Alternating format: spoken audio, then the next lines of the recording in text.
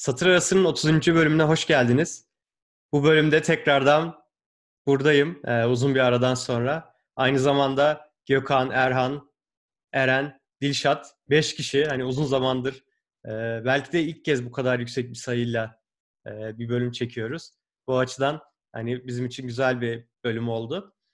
Bu bölümde Otostopçu'nun Galaksi Rehberini okuyacağız, yorumlayacağız. E, kitabı ben önermiştim. E, özellikle hani böyle hem e, bilim kurgu hem de böyle hani İngiliz mizah hani böyle e, Erhan'ın da sevdiği bir mizah olduğu için bu kitabı önerdim. E, ben kitabı üç kere okumuş oldum. Yani bir kere okudum Türkçesini. iki kere de İngilizcesini dinledim. Hani bayağı kült bir kitap benim için. E, kitap aslında böyle bayağı kalın bir kitap. Herkeste de farklı bir versiyonu var. E, altı kitaptan oluşuyor.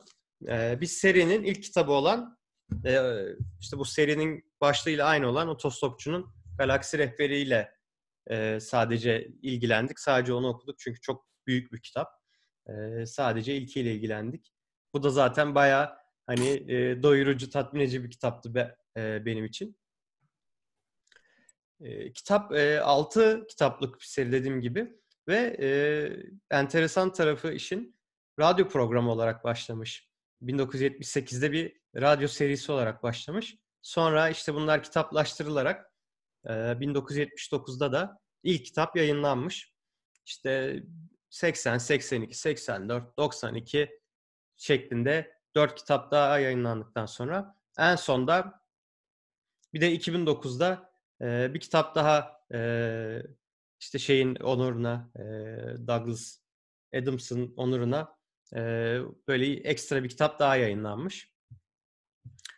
kitap özellikle hani genel olarak böyle şey diyebileceğimiz inek tipli, hani böyle daha böyle e, teknolojik e, işlere yatkın kişilerin özellikle çok sevdiği e, işte programcıların diyeyim, yazılımcıların falan böyle ya da teknoloji geliştirenlerin çok sevdiği bir kitap. E, ve etkisi de hani hala devam eden bir kitap. Örneğin Türkiye'de hani en e, belirgin etkisi ekşi sözlük aslında. Ekşi sözlüğün kurulma hikayesi bu e, otostopçunun galaksi rehberinde anlatılan işte bir dijital rehber kitap var. İşte el, eline alıyorsun oradan bir bölümü açıp e, sana böyle bilgiler veriyor.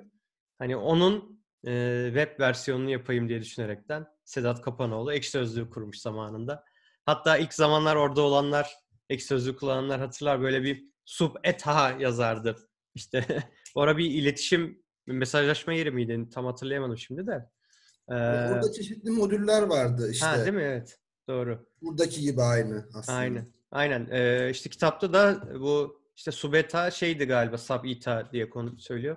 Bir iletişim e, yolu mu öyle bir şeydi galiba. Evet. ETA altı sinyaller diye. Aynen aynen. Ha şey o şekilde miydi? Ee, ETA altı sinyallerle işte iletişim sağlanıyor galaksiler arasında falan. Ee, hani böyle bir etkisi var. Ee, en sonda e, benim bildiğim.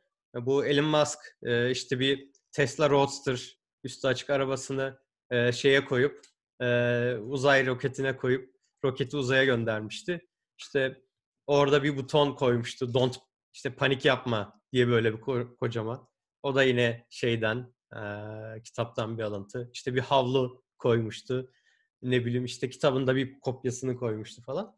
Hani böyle etkileri hala devam eden bir kitap. Bu açıdan da hani hmm, bence şey e, değerli bir kitap.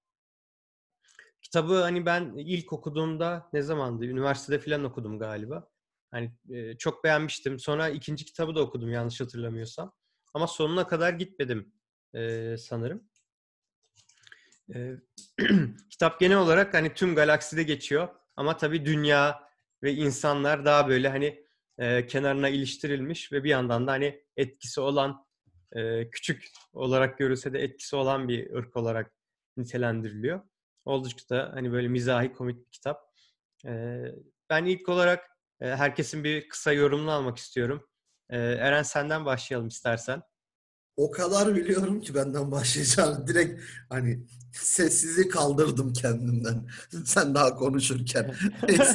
ya sıradan şimdi böyle benim önümde sen varsın. Dilşat, Eyvallah. Gökhan, Erhan diye gideyim dedim. Şimdi ben öncelikle şeyden başlamak istiyorum. Douglas Adams'ın ne kadar güzel bir insan olduğundan bahsetmek istiyorum. Bunu da ön sözde otostopçunun galaksi rehberinin nasıl aklına geldiğini anlatarak başlıyor. Şöyle, e, Avusturya'da san, sanırım Tirol'de miydi, Innsbruck'ta mıydı, nerede bir şehirde sırt üstü yatarken bir tarlanın ortasında gece vakti Avrupa'da otostop yaparken aklıma gelen ve sonrasında 6 yıl boyunca unuttuğum bir fikir olarak söylüyor otostopçunun galaksi rehberini. Bu benim çok hoşuma gitti. Sonra işte körlerle şey pardon sağırlarla ilgili bir anısı var bir şehirde yine. Nerede olduğunu sorarken arka arkaya denk geldiği üç kişinin de sağır ve dilsiz olması. Ee, ön sözde böyle bir şey var. Ee, artık diyor dördüncü de öyle gelseydi ben hayatımı Frans Kafka olarak devam ettirirdim muhtemelen filan diyor. böyle harika bir insan. Ee, işte tabii insan şey oluyor hani ya bu adam şimdi nerede filan diye düşünüyorsun. Ben bilmiyordum öldüğünü açıkçası. Bu da benim eksikliğim olsun. 2001'de galiba spor yaparken ölmüş. Yani kalp krizi geçirip. Halbuki çok da gençmiş. Daha 50 yaşına gelmeden adam aramızdan ayrılmış. Ayrılmasaymış muhtemelen daha büyük işler yaparmış. Ee, bu arada bu işte Çağrı bahsetti radyo programı olarak başlamış diye. Radyo programı olarak hani yayınlanırken, yayına hazırlanırken Monty Python'dan bizim de o e, bir film oturumunu yaptığımız Monty Python'dan bir ekipten biriyle beraber çalışmışlar. O da detay olarak dursun bir kenarda. Yani İngiliz mizahını e, severiz. Erhan bizde tanıştırdı sağ olsun bunun için. E, diyeceğim kitabın çok farklı bir kafası var. Zaten ilk başladığı andan itibaren size hissettirdikleriyle çok böyle farklı yerlere götürüyor insanı. Ben daha fazla uzatmayayım e, başlangıç olarak. Mutlaka böyle birazcık bilim kurguya ilgi duyan herkesin okuması gerektiğini düşünüyorum. Şimdilik bu kadar. Teşekkür ettim Eren. Dişat senin de e, yorumunu alayım. Sanırım sen ilk kez okudun kitabı. Önceden bir bir yerine kadar okumuştun. E, senin düşüncelerin nasıl oldu bu ikinci okumada? Valla öncelikle teşekkür ettim kitap için. Kitap yani okudum, okumaya başladığım andan itibaren çok enteresan, eğlenceli geldi. Hatta dün akşam biz Gökhan'la buluştuk. Gökhan ilk defa oturuma katılacak biliyorsunuz. İşte ufak bir buluştuk dediğim internet üzerinde ufak ayarlamaları yaptık. Programı kurduk vesaire. Sonra ben Gökhan'a oyun oynamayı teklif ettim. O da kitabı bitireceğim dedi. Kaçıncı sayfasındasın dedim. Bayağı ilerlerde bir yer söyledi. Ben de birinci sayfadaydım. Sonra çok elime aldım ve inanılmaz hızlı gitti. Ama başka aksaklıklardan dolayı kitabı tam olarak bitiremedim. Onun için özür dilerim herkesten. Okuduğum yere kadar benim için çok eğlenceliydi. Tabii birkaç gözlemim var. Onları daha ileride söyleyeceğim ama girizgah olarak şunu söyleyebilirim. Böyle kaotik başlangıcı, e, konudan konuya, daldan dala atlayışı inanılmaz bir zekanın ürünü olduğunu size hissettiriyor. Kitap yani şey bir adamın ürünü. E, ipe sapa gelmez, elde durmaz tiplerden birisinin ürünü ve bunu size çok hissettiriyor. Bence İngiliz olmanın da bir şeyi var burada, e, payı var diye düşünüyorum. Yani Douglas Adams'ın e, etnisitesi bence burada pay sahibi. İngilizlerin böyle bir tarafı var. Erhan dediğimiz gibi hani İngiliz mizahına bizden daha yakın. Ben de nedense İngiliz aktörleri çok daha fazla severim. Hep, her izlediğimde böyle kadar bilmediğim bir şekilde bir filmde beğendiğim aktör sonunda İngiliz çıkıyor. Bilmiyorum neden. Onu şeyi hissettim yani o İngiliz havasını hissettim İngiliz mizahını. Benim için eğlenceliydi. Ee, ve çok hızlı okunabileceğini düşünüyorum. Hayatımda okuduğum en, en hızlı kitaplardan birisiydi yani. Hani böyle akıp gidiyor. Ve sürekli hayret ediyorsunuz yani akış, düşünce akışında gidermiş gibi gidiyor kitap. Ve hep şey var bir sonraki sayfada ben buraya nereden geldim hissiyatı var yani. Ne oldu? Nasıl buraya geldik? O yüzden çok eğlenceliydi. son zamanlardaki ve stres işte biliyorsunuz finaller vesaire falan filan. O finallerin stresinin üzerine de bana çok iyi geldi. Teşekkür ederim. Güzel kitap. Sonra girizgahtan sonra başladığımızda söylerim. Teşekkürler Dişat. Ee, dediğim gibi böyle daldan dala atlıyor. Bir yandan hani küçük küçük böyle kısa kısa bölümlere ayrıldığı için de hani e, ben böyle sesli kitap olarak dinledim ve güzel bayağı güzel bir seslendirmesi vardı. Hani tek bir adam seslendirmiş ama hani her bir karakteri farklı bir şekilde seslendiriyordu. Ee, hani her bir şey bölümde böyle her bir chapter'da diyeyim böyle küçük bir tiyatro sahnesi ya da işte bir film sahnesi izliyormuşsun gibi. Hani sanki direkt böyle bir filmin senaryosuymuş gibi geldi bana. Yani o açıdan çok böyle görselleştirebildim yani dinlerken. Okurken de aynı şeyi hissetmiştim. Direkt böyle e, çok net bir şekilde onu hissedebiliyorsunuz yani. Tabii kitabı da iz, şey filmini de izlemiştim. Filmi izleyince zaten daha da böyle e, zihninizde daha çok canlanıyor. E, Gökhan e, sana geçelim. Bu arada e, tekrardan hoş geldin. E, ilk kez bir bölümde e, bizimle birliktesin. Umarım e, devamı gelir. Çünkü mesela ben işte ilk başta vardım. Artık pek sık katılamıyorum. E, her zaman yeni e, yeni bir kan, yeni bir can lazım bize. O yüzden e, benim için de hani çok mutluluk verici oldu. Sen ne düşünüyorsun kitap hakkında?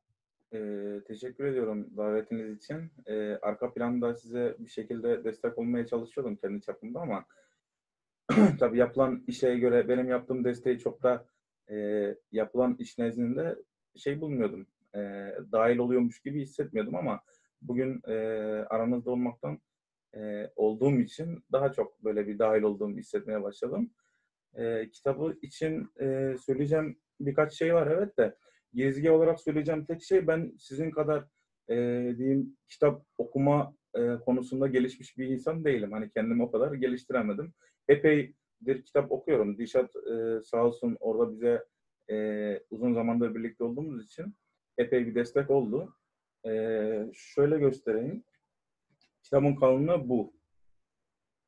Kitabın kalınlığının bu olmasından mütevellit ben bunu kitapçıda gördüğümde adını bile okumadan pas geçecek bir e, insandım hani bugüne kadar.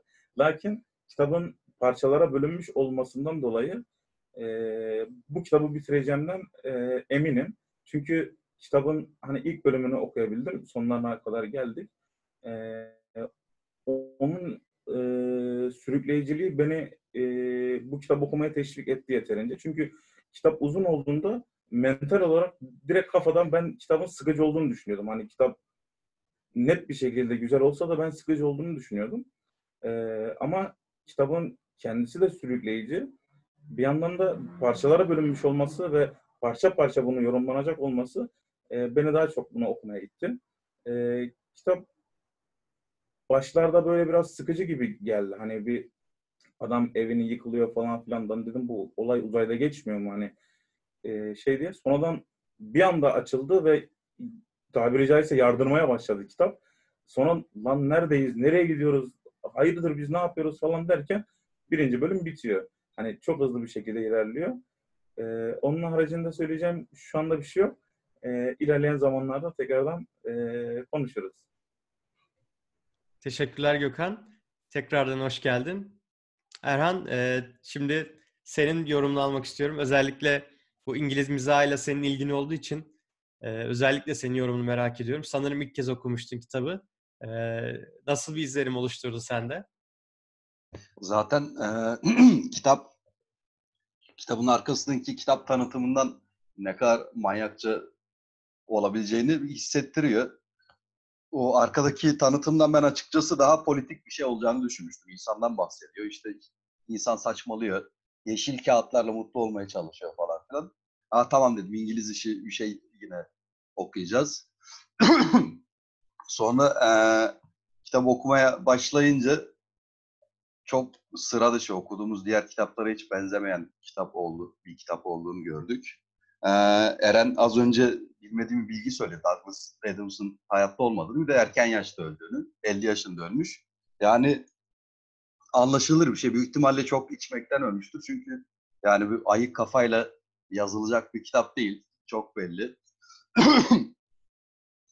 ee, kitabı okurken filmi izlemedim bu arada. okuma boyunca filminin nasıl olabileceğini merak ettim. Çünkü çok fazla daldan dala sıçrıyor konu ve e, yani galakside geçiyor. Koca galakside geçtiği için daldan dala bile bir ya dal ne ki? Yani, yani gezegenden gezegene uçuyor. Kara deliklerden geçiyor. Ee, çok değişik uzay araçlarıyla çok uzak yerlere gidilebiliyor. Hmm, İngiliz mizahına vurgu yaptık sürekli. İngiliz mizahındaki birinci özellik e, zekice tasarlanmış espriler üzerine kurulu olması. O bakımdan sizin dediğinize ben de katılıyorum. Douglas Adams çok açık ki çok zeki bir adam. Bunu e, her satırda hissediyorsunuz kitabı okurken. Genel olarak ben de çok eğlenceli buldum. Biraz ilk başlarda çok fazla isim olması ve isimler hani e, farklı gezegenlere ait kişilerin isimleri olduğu için bizim isimlerin fonetik yapılarına benzemiyor. Bunu yazar bilerek yapmış. Hatırlaması, akılda tutması o yüzden biraz daha zor ve karmaşık gibi. Yani çünkü yani Çağrı, Dilşat diye isimler olsa daha kolay aklında tutacaksın. Telaffuzu zorlu metnin içinde zaten şey ya söz konusu oluyor. O derece böyle karmaşık isimler var derken Dilşat'ın dediği gibi bir sonraki sayfada ne olacak, bir sonraki sayfada ne olacak derken kitap biti veriyor zaten. Bu arada biti veriyor dedim de benim de bir 30 sayfam falan kaldı ama sonunu oturum başlamadan önce arkadaşlara sordum. Herhalde bütünleşik bir yorum yapabilirim diye düşünüyorum. Zaten fark etmez çünkü e, son 30 sayfaya kadar da açıkçası konu ne hala emin değilim. Sizden öğrenmeye geldim. Daha çok oturum yapmaktan dinleyici olmaya geldim. Size anlatırken anlarım. Öyle ben de konuşmaya başlarım diye umuyorum. Evet senin zaten ilk şeyin benim için çok komik oldu yani. Direkt böyle bu kitap neyi anlatıyor ya böyle dedin. Herkesi kopardın zaten. Ee, ya evet başta dediğin gibi okurken özellikle çok karışık geliyor. Bir sürü garip isimler. Böyle hani özellikle komik kulağa komik gelsin diye e, verilmiş isimler gibi. İşte ne var? Ford Prefect var. Hani bir tek o uzaylılar arasında hani başka gezegenden olanlar arasında e, ismi en böyle insan ismine yani Türk dünyadaki bir insan ismine benzeyen. Diğerlerinin hepsi garip garip isimleri var. İşte Zeyfot Beeblebrox var. İşte Slarty Blartfast diye bir adam var falan böyle. Blastfast neydi işte. Söylemesi tekrar söylemesi bile zor yani. Slarty Bartfast'tı pardon. Ee, işte mesela dünyayı yok eden komutanın adını unuttum bile yani. Akılda tutması da çok kolay değil. Ee, ben biraz hikayeye yavaştan girmek istiyorum. Ee, Erhan'ın da dediği gibi hikaye aslında çok dallı budaklı. O yüzden biraz daha hani böyle e, kısa kısa belki böyle sahnelerden e, örnekler vererek ilerleyebiliriz. E, ilk sahnede e, Gökhan da dediği gibi işte bu bizim ana insan karakterimiz Arthur Dent'in e, evinin yıkılma hikayesiyle başlıyor. İşte evin önüne böyle buldozerler, şeyler, kepçeler falan geliyor. Adam bir anda böyle şaşırıyor. Hani o sahnenin tabiri bile çok komik yani. Hani böyle işte adamın aklından geçenleri anlatıyor filan. Yok su içmesi, bir şey yapması filan. Ee, ve o evin yıkılma, yıkılması da hani e, o da böyle şey tam bir bürokrasi hani saçmalığı gibi bir şey. İşte belediyenin bir ilan panosunda duyurulmuş bu efendim. Oradan bir yol geçmiş, geçecekmiş de işte o da belli bir o ilanın orada kalma süresi var. Atıyorum bir yıl, iki yıl. Bir yıl, iki yıl boyunca itiraz etmediği için adamın evini yıkıyorlar falan. Gerçekten klasik bir böyle e, bürokrasi hani vatandaşı çok da önemsemeden iş yapma örneği. Ve o sonradan mesela dünya yıkılacağı zaman da yine benzer bir şeye bağlanıyor. O dünyayı yıkan işte geminin komutanı e, Vogonlardı galiba onlar da. E, onların komutanı Prostetnik bunu... Vogon Jelts. Heh, aynen onun ismi çok zor mesela. Prost, Prostjetnik Vogon Jelts mi öyle bir şeydi değil mi? Evet evet. Ee, öyle garip saç, diyebiliriz kısaca. Aynen. O da mesela bir işte dünyaya yaklaştığında bir duyuru yapıyor. İşte biz bunu duyurmuştuk işte oradan galaks galaktik işte şey otoyol yapacağız biz oradan hızlı geçiş için. Hiper uzay ee, otoyolu. Ha hiper uzay otoyolu yapacağız efendim. O yüzden işte kaç iki saniye işte 10 saniye mi bir dakika sonra sizi dünyaya yıkacağız gibi bir şey diyor. Ee, ve bir anda dünya yıkılıyor. Ee, işte Arthur'la Ford'un bir araya gelip dünyadan kaçması da bu şekilde oluşuyor. Hani Ford onu çekiştiriyor. Hadi bırak şu arabayı, bur- şeyi, evi burada yıkarlar, sıksınlar gibisinden. Onu ikna etmek için şeyleri kandırıyor. Ee, o işte görevlileri, oradaki belediye görevlilerini kandırıyor. o da mesela şeyi andırdı bana biraz. Bu Star Wars'ta hani konuşarak ikna etme var ya hani işte bunu Jedi'ların Jedi'lar hani sen bunu yapacaksın falan deyip ikna etmesi gibi. Ama bunun daha komik ve saçma versiyonu. Ee, onları bir şekilde ikna ediyor falan. Bu şekilde yolculuğa başlıyorlar. Ve işte bir e, bir uzay gemisine, o vagonların uzay gemisine mi giriyorlardı yanlış hatırlamıyorsam. Evet evet. Dünyayı yok eden gemiye direkt e, giriyorlar. E, o da tabii şeyle oluyor. Yani orada da işte küçük detaylar var. Bu vagonlara hizmet eden başka bir ırk var. Onlar işte vagonları da çok sevmiyor. O yüzden onlar yardımcı oluyor işte şeylere. Bu e, hitchhiker şeylere, hmm, otostopçulara. E, galaksi otostopçularına. Bunlar bu bilgiler işte otostopçunun galaksi rehberinde anlatılıyor. Hani bu şekilde hikaye başlıyor. Ve sonra daha da işte hızlanmaya başlıyor hikaye. Ee, işte o vagon gemisinde fark ediliyorlar. İşte oradan bir şekilde uzay boşluğuna atılırken başka bir yerden yakalanıyor. Böyle çok büyük ihtim hani düşük ihtimaller e, söz konusu. Oradan işte başka gezegenlere gidiyorlar falan. Orada işte şeyle buluşuyorlar. Benim en favori karakterim Zeyfot Beeblebrox'la karşılaşıyorlar. Ee, Arthur şeyin de Ford Prefect'in de kuzeni oluyor. Mesela şimdi bunları anlatınca siz dinlediğinizde muhtemelen hiçbir şey anlamayacaksınız hakikaten. Ee, Erhan'ın da söylediği gibi. Bana o açıdan da şeyi biraz hissettirdi. Hani bu mesela Cem Yılmaz'ın da öyle bir muhabbeti vardır ya. Hani çıktığınızda anlattığınızda aynı şekilde güldüremezsiniz, anlatamazsınız falan gibi. Öyle bir deneyim var hakikaten. Okuyunca çok daha öyle akıcı bir şekilde ve çok daha rahat anlayarak aslında ilerleyebiliyorsunuz. Çok fazla detay olduğu için aslında bunları e, anlatmak istiyor istemiyorum o kadar. E, bu aşamaya kadar yorumlarınız varsa hani isteyen konuşsun bu şekilde biraz daha ilerletelim hikayeyi. Eren konuşacak. biraz bekledim. Biliyorum hani biri konuşacak mı diye. Konuşmayacağınızı da biliyorum. Ama bekledim. Sırf o Ya ses. benim aslında birkaç bahsetmek istediğim bir şey var da senin konuşmanı mantıklı buluyorum. Çünkü sen hem daha önce kitap okumuşsun hem son yine bitirdin. Ya şöyle bir şey var. Ee, filmi de izledim ben. Ee, ama filmi ben kitabı okumadan önce izlemiştim. Film Ama zaten yavaş yavaş yavaş ezersen daha çok seviniriz. film za- Bu arada film harbiden çok keyifli ha. Onu bu kitaptaki o havayı çok güzel veriyor. Tavsiye ederim. Bence direkt izleyin. Çok hoşunuza gidecektir yani. Aynen, aynen, aynen. Film de çok güzel.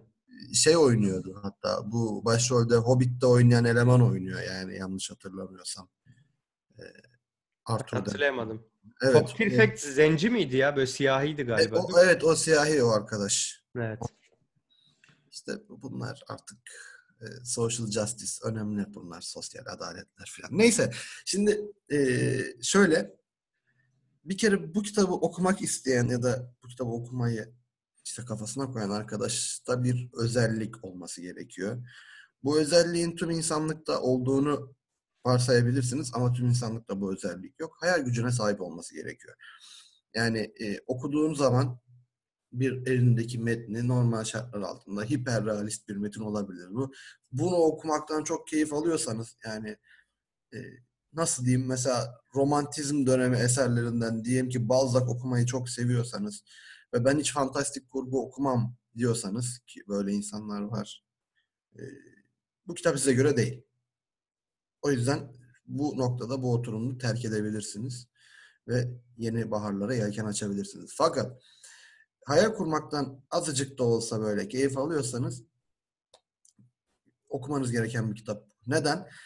Çünkü evinin yıkılmasına karşı koyan bir adam bir saat sonra kendisini bir vagon gemisinin yatakhanesinde etraftaki pisliklere bakarken buluyor. Bir saat daha geçiyor. Kendisini geminin komutanının iğrenç şiirini dinlerken buluyor. Ondan sonra yarım saat sonra kendini uzay boşluğunda buluyor. Hiçbir koruyucu kıyafet olmadan ölmek üzereyken 2 üzeri 2 milyon bilmem kaçta bir ihtimalle oradan geçen başka bir gemi bunu alıyor ve o gemide Galaksi Başkanı'nın e, henüz çaldığı bir gemi oluyor. Yani sonra oradan gezegen yapan bir gezegenin sonra İsmail Meçhet balinası falan var ki oralara hiç girmiyorum. Ya Erhan'ın dediği bir cümle var. Kafası ayık adamın yapacağı iş değil bu diye. Gerçekten de kafası ayık adamın yapacağı bir iş değil. Ee, biraz bazı şeyleri aşmış olmak gerekiyor bu kitabı yazmak için.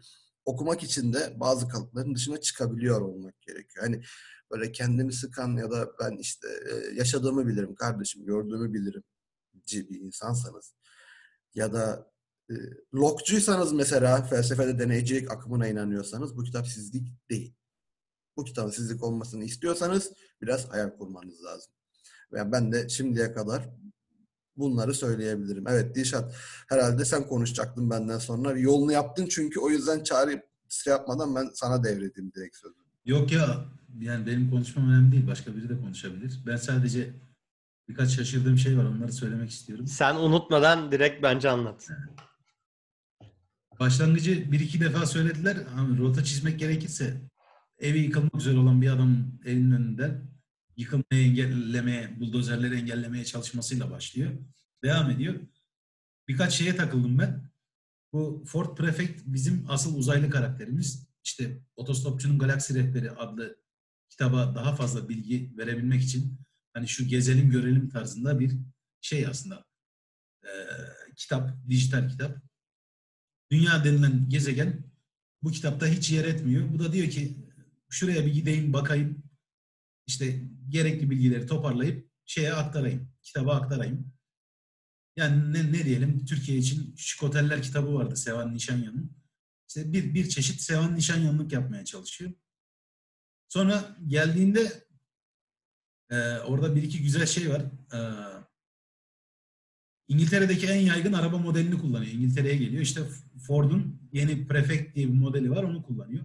Bu arada Prefect Latince vali demek. Kendine isim soyisim olarak Ford Vali diye bir şey seçiyor. İsim seçiyor. Piyasadaki en en yaygın kullanılan araba bizdeki Şahin işte. Sonra bir aksaklık nedeniyle 15 yıl falan orada kalmak zorunda kalıyor. Dünyada 15 yıl geçiriyor Ford Prefect. Bu arada Arthur Dent isimli e, böyle kafası güzel denilebilecek, içmeyi seven, tipik İngiliz. İçmeyi seven, dünyayı da çok umursamayan, ürkek bir adamla arkadaşlık kuruyor. E, Sab Ita dedi biraz önce Çağrı, dinleyenler için söylüyorum. İşte ETA altı bir e, veri alıcısı var bu Ford Prefect'in cebinde. Bu arkadaş şey olduğu için uzaylı. Arthur Dent'in evi yıkılmadan hemen önceki gece ETA 6 aleti çalışmaya başlıyor. E, Ford Prefect biliyor ki işte Vogon denilen bir ırk var, uzaylı bir ırk. Bunlar hmm, hali hazırda dağlı, yobaz diyebileceğimiz tipler, dilleri de berbat. İşte bunlar şey... Bir de, bir de, bir de inşaat yapmayı çok seviyorlar. He, yani işte artık bize mi benziyor? Ne yapayım? Ne bileyim. Yani yok ben öyle bir şey demedim. ben demedim. ben dedim. Neyse işte bu ırk geliyor. dünyayı yıkacak. Ford da diyor ki gideyim bari Arthur'a söyleyeyim de hani bir şey yapmasın. Ee, üzülmesin o kadar. Ee, Arthur'un yanına gelip diyor ki Arthur e, çok eğlenceli bir sahneyle başlıyor işte. Hadi gel seninle içmeye gidelim. Arthur diyor ki manyak mısın yani evim yıkılacak. Buldozerin önünde çamurun içinde yatıyorum. Sen bana içmeye gidelim diyorsun. Sana söyleyeceğim şeyler çok önemli. Ancak içerek bundan kurtulabilirsin. Tabii burada şeyi görüyoruz. Ford Prefect'in aslında kafasında bir plan var. Arthur'u bir şekilde o gemiye bindirmek istiyor. Ve gemiye binerken sanırım çok fazla susuzluğu olacağı için işte ekstradan bira içmesi, bir şeyler içmesi, su benzeri şeyler içmesi Arthur'un biyolojik sağlığı için işine yarayacak yani. Onu sağlamaya çalışıyor. Tabii alkol alıp biraz da akıl sağlığını da korumaya çalışıyor. Neyse bir şekilde Ar Arthur'u ikna ediyor. Orası çok eğlenceli ve güzel. E, götürüyor bara. Bu arada kitabı anlatıyorum. Burada benim böyle bir iki dikkat çekmek istediğim şey var o yüzden. E, bu işte dünyanın yok olacağını mesela çok güzel şöyle tasvir etmiş Diyor ki huzursuz bir enerji yayar size bir biyolojik varlık diyor. Ee, kökenini belli eden yani nerede doğduğunu, nerede yaşadığını belli eden o barda bir sahne var. Barmenden son birasını istiyor Ford Prefect. Ve o arada barmen tamamen sezgisel anlamda dünyanın biraz sonra yıkılacağının farkına varıyor. Orası benim çok hoşuma gitmişti. O yüzden böyle vurgu yapmak istedim oraya. Bir de gemiye biniyorlar işte bir şekilde. Dünyayı yıkan gemiye binip otostopçu olup dünyanın yıkılışına şahitlik ediyorlar. Öyle diyeyim yani. Orada Ford Prefect Arthur'un kullanması için bir tane küçük balık veriyor. Babil balığı diye. Kulağının içine koyuyorsun. Balık kulağının içinde hareket ediyor senin. Ve dışarıdan gelen sesleri e, dışarıdan gelen başka bir dille konuşulan dilleri senin ana dilini anlayabileceğin şekilde çeviriyor. Şimdi daha bir önceki e, şey benim diğer kitap kulübünde Incognito isimli bir kitabı okumuştuk bu şeyin. Ted Eagleman mıydı? Senin başka kitap kulübün mü var ya? Ha, bu fiziksel olarak katıldığım adam. Ha, Adana'da mı? Aldatıyor Evet. musun? Hayır canım öyle, öyle sormak istemedim de merak ettim yani. Bu İyi, güzel. kitapta Incognito'da şey vardı.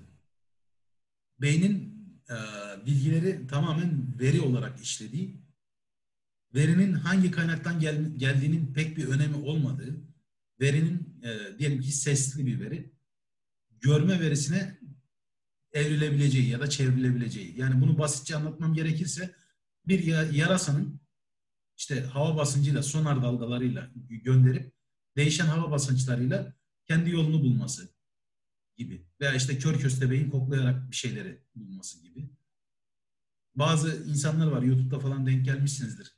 Bu ağzından sürekli klik sesi çıkararak yarasalar gibi görebilen doğuştan kör zenci bir çocuk var.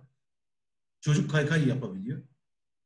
Yani hani benim gözüm görüyor ben kaykay yapamam. Adam işte görmediği halde kaykay yapabiliyor ve bu sesle yapıyor. O Babil balığı çok enteresan bir mantık. E, muhtemelen Douglas Adams bunu yazdığında verilerin başka bir şekilde işlenebileceği, verinin ne olduğunun önemsiz olduğu, asıl önemli olan onu işleyebilmeyi öğrenmek olduğunu en azından hani dünya, bilim dünyası bilmiyordu.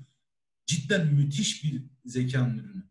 O Babil balığı, ben- beni her şey, o ihtimalsizlikler, uzay sıçramaları, hiper uzay bilmem ne hiçbir şey o kadar etkilemedi. Babil balığı çok etkiledi beni. Çok hoşuma gitti. Koyuyorsunuz kulağınıza. İşte Vogon denilen bir ırk geliyor dünyayı yok etmeye. Vogonların dilini İngilizceye çeviriyor. Sizin anlayabileceğiniz şekilde. Bence yazıldığı döneme istinaden müthiş bir vizyon, öngörü. Çok hoşuma gitti okurken. Ve hani bunu görünce de daha böyle bir şevkle devam ettim okumaya. Böyle burası beni çok heyecanlandırmıştı. Evet, bir yandan da şeyi var, sözünü kestim. Ee, dün, yani dünyada da işte bu kitap yazılalı kaç 40 yıl falan olmuş. Ee, hani yaklaştık ona. Böyle denemeleri yapılıyor artık. Hani mesela anında e, çeviri, otomatik çeviri işlerine böyle şirketler, teknoloji şirketleri girişti. Bayağı bir zamandır uğraşıyorlar. Hani mesela sen benimle İngilizce konuşacaksın, ben seninle Türkçe. İkimiz bir, bir kendi dilimizde seni duyabil, işte birbirimizi duyabileceğiz falan gibi. Ee, o açıdan da bayağı hani e, güzel bir öngörü olmuş yani. Şu an ona yaklaştık. Evet evet. Yani verinin başka bir şekilde işlenmesi çok enteresan bir durum. Incognito kitabında gösteriyor. TED, TED konuşması var yazarın. Orada e, TED konuşmasını yaptığı salonda ki e, bütün verileri sırtında karıncalanma hissiyatı yaratan bir aparata bağlıyorlar. Bu aparatı kullanmayı öğrenmek 3 hafta falan sürüyor. Sonunda bu aparatla dışarıdan gelen verilerle tamamen kör birisi çok rahat gören birisi gibi hareket edebiliyor. Yani beyin şunu istiyor. Veriyi bana bir şekilde ver, sağla. Bir girdi olsun, uyaran olsun. Ben onun dilini bir şekilde öğrenirim. Yani illa görmem gerekmiyor. Tamamen fiziksel olarak görmeyi yakalayabilmem için görmem gerekmiyor. Sen bana ses ver, ben onunla görürüm diyor. Bu da çok enteresan bir durum. O TED konuşmasında umarım bulursam atarım size. Çok çok etkilemişti beni. Ee, burada Babil balığının onu görmek de çok etkiledi beni. Bir de Bölüm notlarına da ekleriz bu linki. olur evet. Ee, bir de şey şu Vogon gemisinde şiir okudukları bir sahnede bir şey var. Ne? Mecazı aşan gerçek üstücülük. Biraz önce başlarken de söyledim. Bu go- Vogon gemisinin kaptanı katı, kuralcı bir adam, ters bir adam böyle. Ve insanları aşağılamaktan, kötü davranmaktan zevk alıyor. Bir çeşit bana benziyor ama bir sahnesi var ki böyle yüksek tiratlara falan da bu adam yakın. Orada bana Eren'i hatırlattı. Söylemiştim zaten. İkisini gemiden atıyor. Gemiden attıktan hemen sonrasında da şey diyor. Ölüm onlar için çok hızlı bir son falan diyor böyle arkasında böyle çıkarak direkt Eren geldi aklıma. Dedim ki ancak bunu Eren yapardı. Çok eğlenceli okudum yani o yüzden. Teşekkür ederim. Anlattım. Kusura bakmayın araya girdim. Benim için okuması çok keyifli bir kitaptı. Böyle birilerinden bir şeyler bulunca da daha çok keyifli. Eyvallah güzel oldu. Evet, sözü devredeyim. Tamamdır. Ee, Gökhan, Eren sizin var mı? Ee, burada hani hikayenin bu ilk e, hani ortalara doğru yaklaştık hakkında. Ha Eren söz istemiş. Evet Eren seni dinliyoruz. Sesin sesin gel ha şimdi geliyor. tamam, tamam, tamam. Ben iki kere tıkladım yanlışlıkla. Ha, tamam. Ee, yani Dilşat ve Eren'in karışımı bir karakter hayal edin. Artık bizi iyi kötü tanıyorsunuz. Vogon hakikaten de öyle bir karakter. Vogon'un komutanı. Güzel karakter. Bu arada ben adamın şiirini sevdim ayrıca. Yalakalık olsun diye değil. Beni atmasın diye değil. Gerçekten sevdim. Ee, bu kitabın başındaki biraz uzun süren gayet mizahi komik sahne bu ev yıkılma sahnesi. Çağrı'nın dediği gibi bu bürokrasi komedisi bizim biraz olacak o kadar tadında hani suyunu güzel çıkarıyor yazar. Orada insanın gözüne sokuyor. Ee, zaten sahne, hani şöyle bir şey var. Çamurun içerisinde yatan uza, bir dozerin önünde uzanmış bir adam tepesine dikilmiş bir uzaylıyla sohbet edip saçma sapan konularda birbirlerini anlamaya çalışıyorlar. O onu anlamıyor. İşte eve verdiği önemi anlamıyor. O onun neden sürekli ısrarla bara gelmesini, çok önemli bir şey olacağını söylemesini anlamıyor. Yani bu sahnenin mizanseni bile tek başına çok komik. Çamur içinde yatan adamla tepesine dikilmiş uzaylının diyaloğu. Sonra eee hani merak ediyorsunuz o pasajın içerisinde. Birazdan çok önemli bir şey olacak. Birazdan çok önemli bir şey olacak. Ne olacak acaba diye okumaya devam ederken meğer bizim bildiğimiz dünya yok olacakmış. Zaten tamam diyorsunuz. Çok şey bomba bir kitap geliyor. Ee, neden Arthur'u seçiyor sorusu benim kafama takılmıştı o kısımda. Yani çünkü koca dünya yok oluyor. Bir uzaylı var, otostopçu bir uzaylı. Dünyayı ziyarete gelmiş. Birini seçecek, kurtaracak. Arthur'u seçiyor. Ama Arthur'a bakıyorsunuz hiçbir özelliği yok. Hatta hani olayı hiçbir özelliği olmaması aslında. Ee, bu ilk uzay seyahatlerinin ilk, ilk başında birçok şey merak dahi etmiyor. Hala aklının bir yarısı yıkılan evde kalmış yani. Artık dünya yok ama hala yıkılan evle ilgili bir hissiyat yaşamaya devam ediyor adam. Orada da güzel bir ironi var. Ee, şunu bekliyorsunuz kitap boyunca. Hani dedik ya dünya yok oluyor birdenbire. Uzaylının biri bir dünyalıyı kurtarıyor. Bu arada yazar şeyden onu size soracağım. Ee, hani kendini özdeşleştirmen beklediği karakter acaba Arthur mu? Ok- okuyucudan beklediği karakter diye düşün, düşünüyorsunuz ama yani bilmiyorum. Bence Çok fazla öyle bir karakter yok ya. Yani dışarıdan anlatıyor yani böyle sahne anlatır gibi anlatıyor sanki. Değil mi? Evet. Hani tek dünyalı ya. O bakımdan öyle bir niyeti var mı acaba diye okurken zihnimin bir yanından düşündüm çünkü. O yüzden size sorayım dedim. Bence Doğru, de bana da öyle ya. geldi.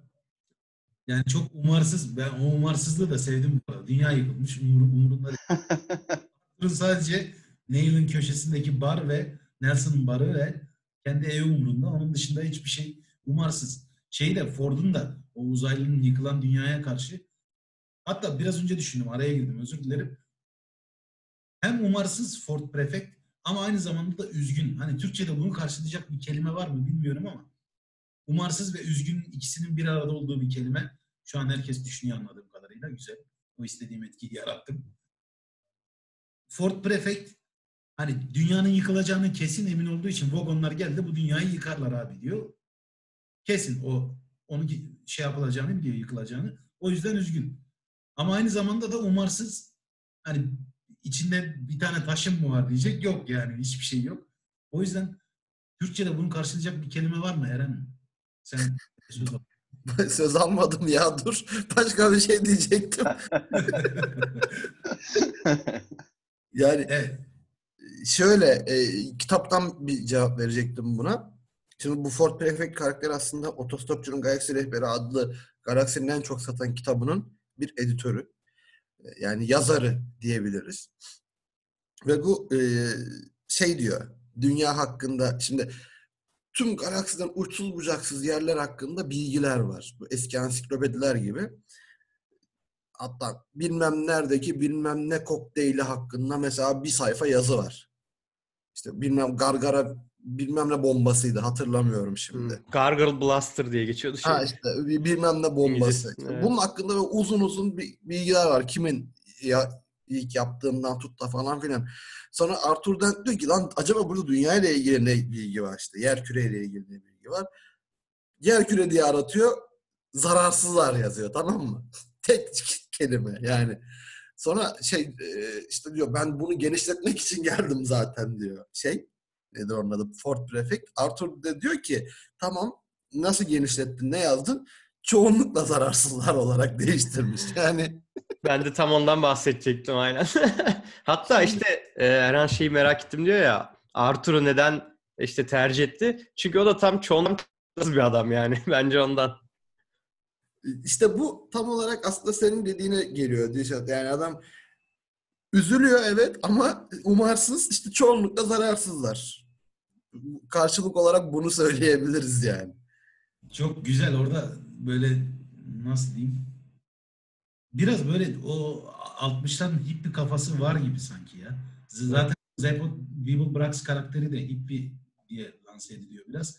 Hani içmeyi, eğlenmeyi, tabiri caizse işte ot içmeyi, alkol almayı, ne bileyim, eğlenmeyi, sevişmeyi falan seven. Ee, Türkçemizin bununla ilgili güzel bir kelimesi var ama şimdi söyleyip şey yapmak istemiyorum. Ee, Deyim mi? demek istemiyorum ama Söyle artık. ne derler? Sefa peze. Ha, evet. Evet öyle bir adam hakikaten. Ç- O Çağrı tip sa- sansür teknolojimiz var mı? E, o kadar da sansürlük bir şey değil canım. Daha kötülerinde yaşayabilirdik. Daha kötülerin de Dilşat'tan değil mi duyabilir? Demek ki benden bekleniyor yani. Böyle bir potansiyel var demek ki. Yani- Ama yani tam cuk oturmuş bir tanım. Hakikaten. Aynen öyle. Sefa Bizden bir yandan da şey bir adam ya. Etkili de bir adam yani. Şey Galaksi İmparatorluğu'nun başkanı olmuş ve onun asıl niyeti de bu işte şeyi o e, altının kalbi mi diye mi geçiyordu kitapta? Altın Altının Altın, Altın- Altın Kalp adlı böyle hani e, son teknoloji bir e, uzay gemisini çalmak için yani böyle bir yandan da etkili ve garip e, şeyleri olan, hedefleri olan bir adam.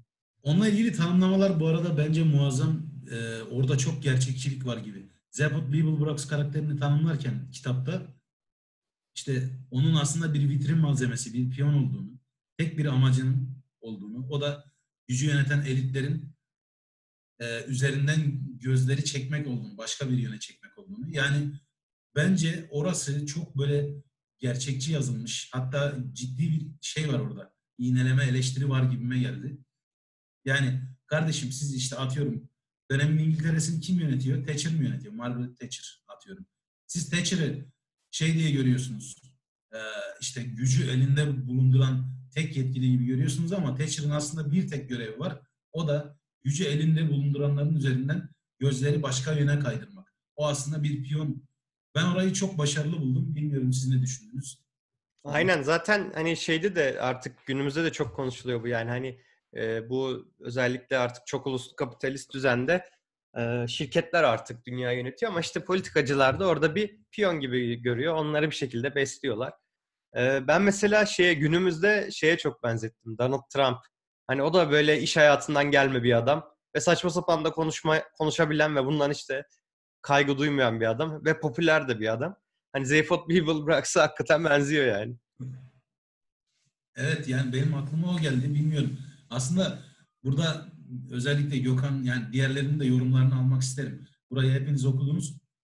Hakikaten ne düşündünüz orada? O Zephyr Beagle karakterinin böyle tanımlanması konusunda aklınıza kim geldi mesela? Mesela çok sert bir karakter gibi görünüyor ama belki Vladimir Putin, işte ne bileyim Kim Jong-il vesaire gibi karakterler de sizce buna uyar mı? Ulan ben Gökhan'a sordun, Gökhan cevaplasın. Gökhan öyle duruyor. Durma artık. Gökhan öyle duruyor. Gökhan durma öyle cevapla. Ya şöyle ben araya çok girmek istemedim. Ee, ben de biraz Babil balığından ve işte ee, piyon olayından hani bahsetmek istemiştim ama tabii e, çok araya girme şeyinde bulunmadığım için hepsi konuşuldu, geçildi. Ee, yetişemedim. Diyeceğim burada ekmek kaslarının ağzında. Ya işte kapıldı gitti yani bütün önemli benim için önemli olan e, atfettiğim şeyler gitti. E, başkan seçiminde e, şöyle bir kraliyet, saltanat yönetimi e, varmış. Daha sonradan e, saltanat aktarılamadığı için bir e, varisler ve kral öldüğü için e, bir e, komiteye kalıyor yönetim. Komitede tekrardan kendi aralarında bir başkan seçip tabii bu başkanı da aynen dediğiniz gibi bir adam e, başkanlık yapmaktan ziyade görevi e, gözleri gücün üzerinden çekme, e, yönetim gücünün üzerinden çekme e, görevi olacak biri gerekiyor. Bunun için de e, işte tariflerinize aynen uygun böyle boş konuşan gösteriş meraklısı e, işte komiklik e, falan yapan bir adam bulmak istiyorlar. E, bu tarife uygun bir başkan olabilecek mi? Bu adam başkan olur mu dediklerinde en son akla gelecek kişiyi başkan yapıyorlar. Çünkü keza kendi de biliyor böyle bir kişinin arandığını ve şeyden bahsediyor. Bunun e, farkında olan 6 kişi vardı. Onlar bile e, biraz sonra olacaklarının farkında değil. Hani geminin çalınacağının farkında değildi gibi bir şey var ama bu 6 kişiden okuduğum kısma kadar hiç bahsetmedi. Bu 6 kişinin kim olduğunu ben anlamadım. İleriki yerlerden muhtemelen bahsediyor. Bir 6 kişiden bahsediyor. E, söylemedi. E, Babil balığıyla alakalı e, Babil balığın olayını şöyle anlatıyor. Benim anladığım kadarıyla e, kulağına koyduğun zaman dillerden bağımsız olarak karşıdaki yani kulağına kulağında olan kişiden değil de etrafındaki kişilerden enerjisini alıp e, telepatik olarak onların söylediklerini telepatik olarak anlayıp sana telepatik olarak aktarıyor. Yani dillerden, kelimelerden veyahut da her şeyden bağımsız olarak çalışan bir e, balık ve hatta Tanrı'nın e, var olduğuna e, bir var olmadığına bir kanıt olarak gösteriliyor. Bir kitap var. E, bahsi geçen dünya yani o evrende en çok satan bir kitaptan bahsediyor. Bu Tanrı'ya Tanrı'nın defterini dürecek bir, kitap diye bir kitaptan bahsediyor. Orada da güzel bir felsefe var. Şey diyor. Tanrı kendinin ispatlanmasını istemedi. Bu yüzden Tanrı'ydı. Ama Babil balığı Tanrı'nın varlığını ispatlayan bir şey olduğu için Tanrı demek ki yoktur gibi bir felsefe yapmış. Karışık bir şey ama güzel hani direkt okuyunca daha o da bana komik gelmişti ya. güzel bir e, Felsefede bile komiklik yapmış adam ya. güzel saçan Tanrı'nın varlığını kanıtlayarak Tanrı'nın var olmadığını kanıtlama çabası güzel. E, değişik bir kafa geldi bana. E, başka bakalım bir de şey var. Otostopçu otostopçu yapan şeyin mesela orası benim çok dikkatimi çekti. Bir parmak var. Hani orijinal kendi parmağı değil de e, biyonik mi derler hani daha sonradan iliştirilmiş oraya hani kendi parmağı sökülüp sonradan oraya takılmış bir parmak. Otostop çekmek için kullanılıyor bu. Sinyalleri toplayıp sinyal gönderen bir parmak. E, bu da benim aklıma şeyi getirdi. Hani belki hani e, bazılarınızın izlediğini biliyorum da hepiniz izlediğinizi bilmiyorum. Leyla ile Mecnun vardı. Onun ikinci sezonunda e, uzaylılar vardı. Uzaylı Zekiye işte tayfa falan geliyordu böyle. Dünyadan kaçmak için otostop çekiyordu sahilde. Böyle bekliyordu hani bir gün boyunca falan böyle bekledi. Mesela o zaman hiç anlamamıştım oradaki olayı nedir diye. Hani kitabı okuyunca anladım. Mevzu onunla alakalıymış. Bir de ben okumadım da kitapta. Kitapla daha önceden, bu kitabı hiç okumadan daha önceden bir ufak bir şeyler okuyordum. Sanırsam bu kitapta yanlış hatırlıyorsam düzeltin ama bir dünyaya bir taş düşüyor. Siyah büyük bir taş düşüyor. İnsanları e, gelişiminde bilgi veriyor. Bu kitapta mıydı? Yok o 2001'de. 2001'de mi? Ha. Aynen. Bu da Arap'ta geçiyordu galiba. Dünyaya hani maymunların yanından Hmm, ayrıldığında. O da oradan demek ki şey almış, Ha, referans O almış. da oradan ben onu da kitapta diye hatırlıyorum da onu da söylemek istemiştim. Bunda Ee, dünya önemsiz ya. Yok yani olmasın. Aynen. Yani işte Aruk'ta siyah taş o 2001 Space Odyssey'deki mevzu başlangıçtaki o maymunları insana eviren o büyük taş işte. Evet orada var. ben mı söz almak da yanlış hatırlamışım. Eren bir şeyler demek istiyor herhalde. Buyur Eren sen. Eren e, burada dünya önemsiz deyince aklıma geldi.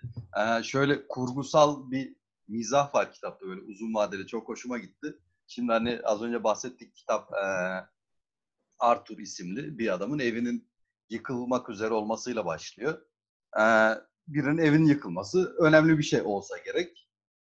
Ondan sonra e, hikayenin rengi değişiyor. E, meğer daha önemli şeyler olacakmış. Bir uzaylı gelip e, Arthur'u bu konuda ikna etmeye uğraşıyor. On, sonra bir şekilde ikna ediyor ve beraber dünyadan bir e, uzay aracına atlıyorlar. Başka bir ırkın. Sonra dünyadan uzaklaşıyor. Dünya havaya uçuyor. E, Aa diyorsunuz meğer çok daha gerçekten önemli bir şey varmış. Adamın hakkı varmış ısrar etmek konusunda. Ev önemli değilmiş diyorsunuz. Dünya havaya uçuyor. Sonra öyle bir yolculuğa başlıyorlar ki e, dünya da önemli değilmiş aslında. Hatta e, insan önemli diye ya insan önemli. Biz kendimizi önemli görüyoruz. İnsan dünyada e, zeka konusunda ilk sırada bile değilmiş meğersem. Böyle kurgusal bir alaycılık var. O çok hoşuma gitmişti. E, bu geçen Eren'le yaptığımız Yüzüklerin Efendisi oturumda şöyle bir şeyden bahsetmiştik. Yani Tolkien acaba böyle elf falan filan gibi ırkları insana bir görecelik oluştursun diye mi tasarlamış? İnsandan başka düşünebilen yaratıklar olsun diye. Derken Douglas Adams eee, bu işi birazcık daha arşa çıkarmış. Arş ne ki yani? Uzay, galaksinin sınırlarına çıkarmış. Arş hiçbir şey değil. Zaten arş yok bu kitapta. Çünkü dünya yok artık. ya yani kitabın genel kurgusunda böyle bir alaycılık var. Sonra e, şöyle bir şey bekliyorsunuz bir kitap okurken, herhangi bir kitap okurken. Ne kadar gerçeküstü, hayal ürünü hikayesi olursa olsun gerçekliğe bir mesaj veriyor olması lazım diye bekliyorsunuz. E, şöyle bir mesaj geliyor sonunda. Kitap dönüp dolaşıp kurgusu şöyle bir bütünleşmeye varıyor.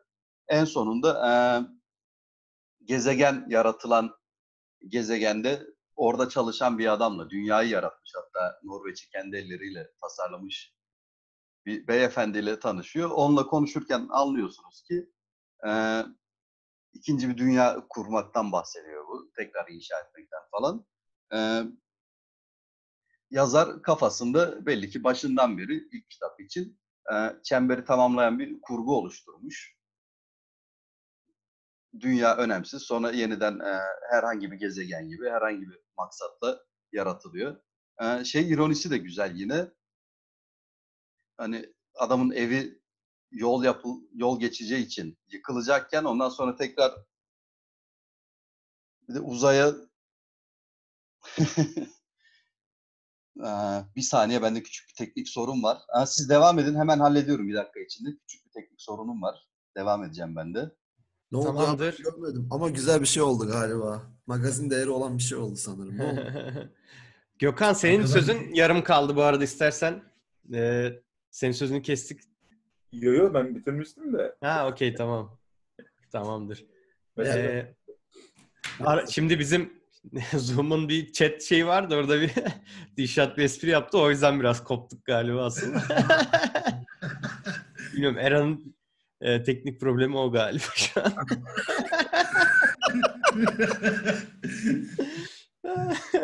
Genel olarak. Aynen. Şimdi ben de koptum hakikaten. ha ben şeyi e, neyi diyecektim ya? Ben de unuttum valla. Eren, Eren senin söyleyeceğin bir şey var mı? Oradan devam edelim. Kurtar bizi buradan. Çıkar. Kurtar valla. Aynen. Şunla bizi sıkatayım. üstü mevzudan kopardım bizi ya. Bu arada bu kitapta güzel taraflardan birisi benim şeydi. Oradan bari bir konu açayım. Kültürün devamlılığı böyle. Hani Gökhan'ın söylediği işte Arok'taki o Space Odyssey'deki taşın olması. Bu kitabın bu kitabın başka kitaplara, başka işte filmlere ve e, şeylere referans olması insan insanın hani çok kaynaktan beslenmesi güzel bir şey. Kültürün ağırlılığını, devamlılığını gösteriyor. Bu arada arkadaşlar ben bu konuşmayı tamamen Erhan'ı rahatlatmak adına yapıyorum. Erhan'ın teknik problemini e, bitirmesini bekliyoruz. Sonrasında yine o başlayacak. Şu an Teknik problemini bitirmez. Yani kültür böyle katlanarak birbirine etkilenerek devam ediyor ve birçok şeye atıf yapılıyor. Bizim bilmediğimiz yerlerde yani birçok filmde olabilir. Hasbelkader izlediğimizde dikkat etmiyoruz, görmüyoruz çoğu zaman veya anlamıyoruz. Çünkü öncesini referans aldığı noktayı bilmek için, yani bilmediğimiz için. Bu e, nasıl desem her ne kadar anlamasak da yıllar sonra işte anlayabilsek de mesela Gökhan'ın biraz önce verdiği örnek şey bir Türk dizisi Leyla ile Mecnun gerçeküstü bir dizi. Orada işte otostopçular, uzaylı otostopçular gelip sahilde akşama kadar ellerini kaldırıp işte baş parmaklarını kaldırıp bekliyorlar. Gökhan bunu yıllar sonra dizi izledikten yıllar sonra bir kitapta öğreniyor mesela. Aa diyor. Bu bu şey anlamında çok güzel bir şey. Ya nasıl anlatsam? Döngüsel anlamda güzel bir şey. Yani insanın öğrenciliğinin hiç bitmemesi anlamında. Öğrencilik hiç bitmiyor. Bir şekilde hep ileriye doğru bir şeyler öğrenerek gidiyorsun. Bu seni iyiye ya da kötüye evirir. İyidir ya da kötüdür onu tartışırız. Ama insan doğduğu andan itibaren eğer gözleri birazcık açıksa aslında basitçe bir öğrenci. Sürekli bir şeyler öğrenerek, bir şeylere şaşırarak, hayret ederek, bir şeyleri anlamayarak zaman geçiriyor. Eren bitti mi teknik problem? Daha fazla saçmalayamayacağım artık. Ben de şey eklemek istedim e, Dişat senin söylediklerine. Bir yandan da bana bu hani şeyin değerini daha da iyi hissettirdi yani hani bu anlattığımız örnekler. Yani bir fikir ortaya koymanın ya da bir hayalini hani e, yazıya dökmenin ya da işte bir şekilde insanların e, okuyup dinleyip hani bir şekilde tüketebileceği bir formata getirip hani bunu kalıcı hale getirmenin de böyle bir değeri var yani bu nesilden nesile bile bir şekilde e, aktarılabiliyor. Farklı yerlerde referans kaynağı olabiliyor. Bu açıdan da hani hani şey böyle çağımızda şöyle bir şey de var. Hani her şeyi çok hızlı tüketiyoruz. İşte mesela biz gidiyoruz bir saatlik YouTube videosu çekiyoruz. Kimse izlemiyor falan. Dinliyorlar genelde. Çünkü hani böyle bir sıkıntı var hakikaten yani. Çünkü çok hızlı tüketim. İşte Instagram'da 10 saniyelik bir işte 5 saniyelik story'e bakıyorsun, geçiyorsun falan. İnanılmaz bir aşırı tüketim, hızlı tüketim e, şeyine geldik. E, çağına geldik e, hani biraz bu şeyin değeri bazen e, hani daha böyle şey görülebiliyor. E, olduğundan daha az görülebiliyor. İşte yani kitap okuyacağım ben. İşte ihtiyacım neyse bakarım YouTube'da. Okurum, öğrenirim, işte izlerim. Hmm. Bulurum bir çözüm. Mesela şey bunu da çok diyor. O mesela benim çok hoşuma gitmiyor. Hmm, Kadir Köymen. Hani birçoğumuzun severek takip ettiği bir adam. Hani girişimci ve ve böyle hani fikir yayan bir insan. İnsanları böyle hani şey boş yere değil altın doldurarak e, gaza getiren bir insan. Ama mesela onun şey yorumu benim çok hoşuma gitmiyor. Mesela ya kitap okumak çok da hani o harcadığın zamana değmez gibi bir şey var. İşte ben bir şeye ihtiyacım varsa e, işte YouTube'dan öğrenirim şuradan buradan onunla ilgili kitabın belli bölümünü okur geçerim. İşte edebiyat okumakla ne uğraşacağım falan gibi şeyleri var. Hani biraz orada bence e, şey e, biraz küçük görüyor yani bu işi. Ama bunun hani çok farklı etkileri olabiliyor. Yani sadece her şey teknoloji değil sonuçta her şey yani atıyorum telefon teknolojisi bize birçok şey kazandırdı ama bir yandan da bizi depresyona bile sokabiliyor yani. Hani bunun yapılmış çalışmaları bile var. Sosyal medyanın aşırı tüketilmesi ve sosyal medyada özellikle pek bir şey üretmeden sadece takip etmek hakikaten insanları depresyona sokuyor. Çünkü mesela Instagram'a girdiniz herkes inanılmaz mutlu, inanılmaz böyle güzel yerlerde işte hayatlarını geçiriyorlarmış gibi bir dünya var. Siz de öyle bir paylaşım yapmazsanız bu sefer depresyona giriyorsunuz yani. Lan millet ne güzel hayat yaşıyor. Ama sen mesela oturmuşsun güzel bir havada işte e, böyle havanın keyfini çıkarıyorsun yanında işte bir şeyler yiyip içiyorsun. O anı hani değerini o kadar da bilemeyebiliyorsun yani böyle bir şey var. E, ben mesela Vallahi işte... Acı çok güzel bir tarafa dokundun. Bununla ilgili benim aslında söyleyeceklerim var. Senin bitirmeni bekliyorum. Tamam. Çok çok istediğim bir yere geldi konu. Hatta bununla ilgili size soru sormak da istiyorum. Tamam. Ne Tamam ben tamamlayayım sonra senle devam ederiz. Ee, örneğin ben bunu şeyde çok daha net hissettim. Ee, işte bu hastalık dönemi oldu. Ee, zaten bahsetmiştik daha önce. İşte hastanede yattım, oradan çıktım. Çok böyle kısıtlı bir hayat yaşadım. Hani hastaneden çıkınca ilk hissettiğim şey ya böyle işte açık havada dolaşabiliyorum. Ya bu nasıl bir özgürlük? Hani gibi bir şey hissettim ya. Çünkü orada sürekli bir doktor geliyor, hemşire geliyor, o geliyor, bu geliyor. Hani bir özgürlüğünüz yok. İnanılmaz kısıtlı koşullardasınız. Ya, ki yani hapishaneyi falan hiç düşünemiyorum bu durumda. Hani bir anda böyle çıkınca ya bunun değerini nasıl bilmemişim şeyini hissediyorum. Çünkü işte ne yapıyorsun? Yok Instagram'a bakıyorsun oraya buraya. Hani inanılmaz böyle e, zihnin çöple doluyor yani. E, hani o açıdan bunun değerini bilmek bence önemli. Çok haklısın ya Hacı. Burada mesela Kadir Köymen klasik beyin gibi davranıyor aslında. İnsan beyni şey en basit ve en kolay bilgiye ulaşma yoluna bakar her zaman. Bir, bir şey yapacaksa insan beyni en kolayını tercih ediyor. Çoğu zaman böyle böyle evrilmişiz yani. Ama orada bence e, es geçtiği ya da yanlış olduğu yer şu e, bir problemi çözmenin en en mantıklı yollarından birisi nereye bakacağını bilmek. Mesela burada 4-5 farklı mes- meslekten insanlar olarak oturuyoruz. Eren'le sen meslektaşsınız. İşte Gökhan asker değil. Erhan yine bir uzman pozisyonda çalışıyor. Şimdi durumla ilgili şöyle bir şey var. Elektrik elektronik mühendisliğini bugün üçümüz Eren şey Erhan ben ve Gökhan da başlasak sizin kadar belki öğrenebiliriz. Belki mühendis olabiliriz. Ama nereye bakacağımızı bilmek konusunda siz bizden her zaman daha önce, önde olacaksınız. Çünkü bu işi daha önce tecrübe ettiniz. Yazılı ve görsel kaynakların nerede olduğunu biliyorsunuz. Problem çözmenin en etkin yolu ya da insan beyninin en hızlı olduğu şey problem çözerken nereye bakacağını, hangi kaynaktan bilgi edineceğini bilmek düsturu. Bunu öğrenebilmek için de insanın kendisine belirli bir yatırım yapması lazım. Bu ama kitaplarla olur ama videolarla ne bileyim yani günümüz için konuşuyorum. YouTube videolarıyla ama filmlerle olur. Bilmiyorum. Yolu seçmeniz lazım. Ha, insan sürekli kitap okumalı mı bilmiyorum. Onun, onun o başka bir tartışmanın konusu.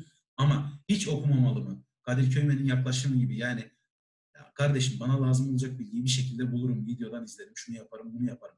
O, o videoyu hazırlayan, senin önüne sunan adam acaba o videoyu hazırlayabilmek için ne yaptı? Yani gidip yine bir başkasının videosunu izlemedi muhtemelen. Yani ilk üreten olabilmek için, sıfırdan bir şeyleri üreten, referans alınan kişi olabilmek için ne yapmak lazım? Ya o kitapların rahli tedrisattan geçmek lazım yani bir şekilde. O kitapların mürekkebine bir dokunmak, bir koklamak lazım. Yani nasıl anlatsam e, ilk ilk şeyi bir ürünü ortaya koyan kişi olmak için bu fikri bir ürün, ürün olabilir, maddi değeri olan başka bir ürün olabilir. Bir şekilde daha öncelerinin yaşamış olduğu aslında her kitap bir bir tecrübeler bütünü gibi düşünsek daha önce birilerinin yaşamış olduğu tecrübeleri e, deneyimlersiniz siz de. Amerika'yı yeniden keşfetmezsiniz. Onların geçtikleri yollarda o sana yolda ipuçları bırakır. Şunları yaptım, sonuçlar buna ulaştı. Şunları yapmadım, daha iyi oldu. Yolu daha hızlı kat ettim vesaire diye. Yani hızlı tüketmek istiyorsan bile daha önce yavaş yaşamış birilerinin ne söylediğine kulak vermek zorundasın. En azından kitaplar benim için bu işe yarıyor. Aynen. Ee, Dilşat sana katılıyorum. Bu arada teknik sorunu çözdük. Ben zaten yavaş konuşan biriyim. Bir de üzerine e, bir antivirüs pop-up'ı çıktı bilgisayarda. Bir yandan konuşurken bir yandan da onu kapatmaya çalıştım. İyice ığlamaya başladım. Dilşat da programın chatinden beni Mesut Yılmaz'a benzetti. Esprinin öznesi olduğum için madem ben kendim kendi ifşa, ifşa edeyim dedim.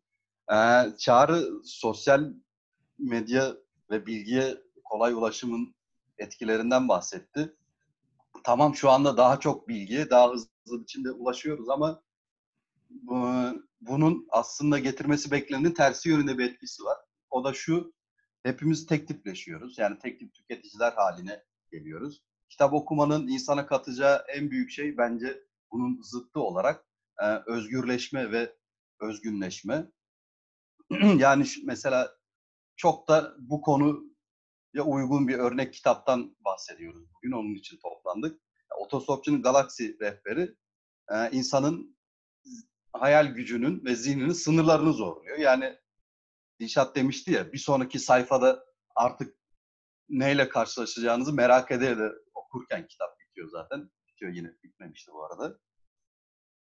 Ee, bunu sosyal medyada bulamıyorsunuz. Şimdiki dünyada bakıyorsunuz insanlar e, her gün aynı şeylerden bahsediyor. Ne popülerse Twitter'da top trend neyse, Türkiye için söyleyeyim mesela ekşi sözlükte çok konuşulan başlık neyse insanlar o konuyu konuşup sonra unutup rafa kaldırıyor. Kitap okumak böyle bir şey değil. Yani sosyal medyada alacağınız hiçbir bilgi, internette alacağınız hiçbir bilgi bu arada hızlı alınan bilgilerden bahsediyoruz. İnternette de yani e, kitap değerinde kıymetli bilgiler var tabii ki. İnternet sonuçta her şey var.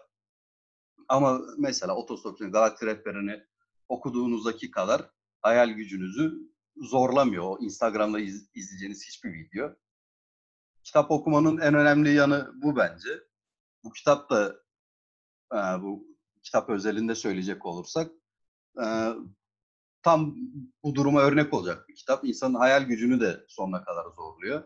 Bilgiyi de sonuna kadar zorluyor. Sadece hayal gücü değil, bakış açısını da e, sınırlarını zorlamak lazım. Yani e, ne demek fareler bizden daha zeki, ikinci sırada yunuslar var, üçüncü sırada biziz. Bunu e, insan gerçekliğini ters yüz etmek ancak kitap okumayla olabilecek bir şey. Ve gerçekliği ters yüz etmeden de, şüphelenmeden, e, farklı bakmadan, uzun uzun düşünmeden işin açıkçası da e, özgürleşemezsiniz, özgürleşemezsiniz ve de e, ilerleyemezsiniz de. Yani gittikçe tek tipleşiyoruz. Ben buna şahsen kendimce direnmeye çalışıyorum. Ama ne kadar direnirsem direneyim. Mesela e, akşam sosyal medyada zaman geçiriyorsunuz. Özellikle Instagram'da falan oralarda hani bilgi ve görsellik daha hızlı aktığı için daha ilgi çekici, daha renkli, albenili. Sonra ertesi gün işe gidiyorsunuz ya da arkadaşlarınızla buluşuyorsunuz. Bakıyorsunuz ki sohbetin konusu herkes için aynı. Bir gün önceki sözlükte ne konuşulmuşsa, bir gün önce Twitter'da ne top trend topik olmuşsa bunlar konuşuluyor. Yani e, çok bilginin olması ortamda çok fazla düşünce olduğu anlamına gelmiyor. Zaten hani e, ben bu sosyal medyanın da şeye hizmet ettiği kanaatindeyim şahsen. Siz de katılıyorsunuz anladığım kadarıyla. E, tüketici olmamıza hizmet ettiği kanaatindeyim. Bu haleti ruhiyeye büründüğünüz zaman, bu kişiliğe bakış açısına sahip olduğunuz zaman otomatik olarak zaten daha tüketici insanlar haline geliyorsunuz. E, evet kitaplar daha e, uzun, okuması biraz daha zahmetli. E, ama ben o bahsettiğiniz beyefendiye katılmıyorum. Hani çok zaman kaybettirdiği için aldığın şeye göre çok fazla zaman ve efor harcadığın için daha değersizmiş gibi olduğu fikrine katılmıyorum. Yani e, zaten acele etmemiz gerekliliği nereden çıktı ben onu da anlamıyorum. Neden acele etmek zorundayız ki yani? Yani bir yere de gittiğimiz yok sonuçta. Değil mi? Aynen öyle yani. Bunu çay içmek gibi düşün. Yani neden hızlı hızlı içmek zorunda olası ki bir sonraki içeceğe geçeyim diye. Yani yavaşça içip keyfini çıkarmak daha keyifli değil mi zaten? Ya yok bir de sadece içeceğin çaysa yani ondan sonra gelecek olan da çaysa niye bir önce? Dünyadayız sonuçta bir yere gittiğimiz. Ya Erhan bitirdiğinde ben de bir şeyler söyleyeceğim bununla ilgili. ha, Bize- ben ses tonumla bitirdim belli ettim sanıyorum. Ha, ettin tamam eyvallah. Ben de onu teyit etmek için aslında sordum zaten. Şimdi e, Kadir Köymen'den söyleyeceklerim için peşin olarak özür diliyorum. E, ama yani Gökhan el çırpıyor. Bana içeri çıktı. Güzel. Bu, bu arada Eren sen gömmeye başlamadan e, Çağrı en başında oturumu açarken şey demişti. İneklerin ilgisini çekecek kitap demişti. Orada bir spekülasyon ihtimalimiz vardı. Onu da kaçırmayalım. Onu da bir ara arada Eyvallah, de evet. gömelim. Ya Evet. ben öyle gözlemledim. Çünkü şey e, yani referansı en çok e, hani o tarz insanlardan ben referanslar gördüm. O yüzden yani yoksa tabii herkesin ilgisini çekiyor olabilir ama referans verenler açısından genelde böyle işte daha teknolojiye yatkın insanlardan e, ben referanslar gördüm. Olsun inek dedin rating.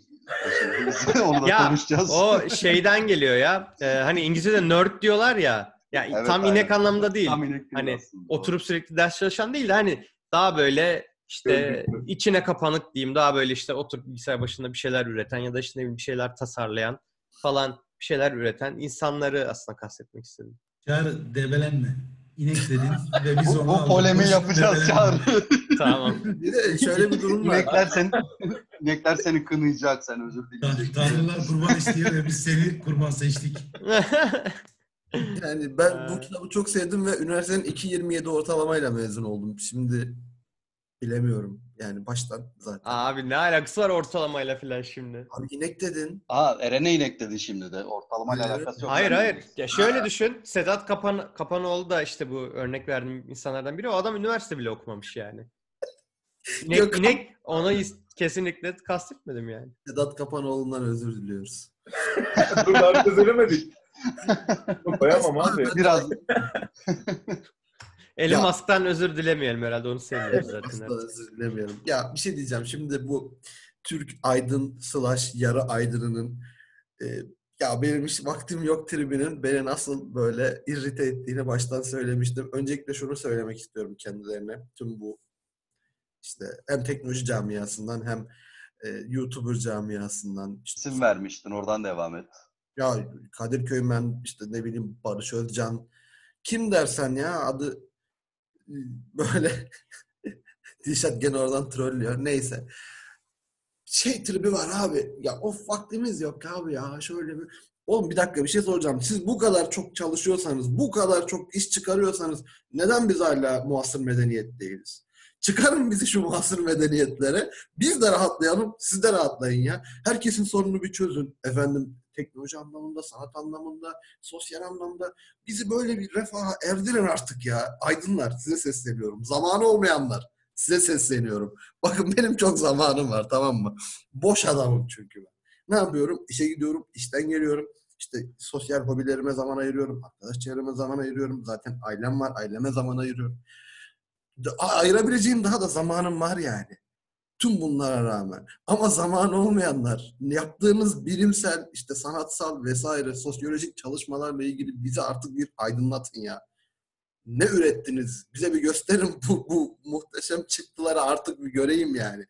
Haksız mıyım beyler bilmiyorum da. Harbiden artık fitil olmaya başladım ya. Adam diyor ki, adam şunu diyebiliyor.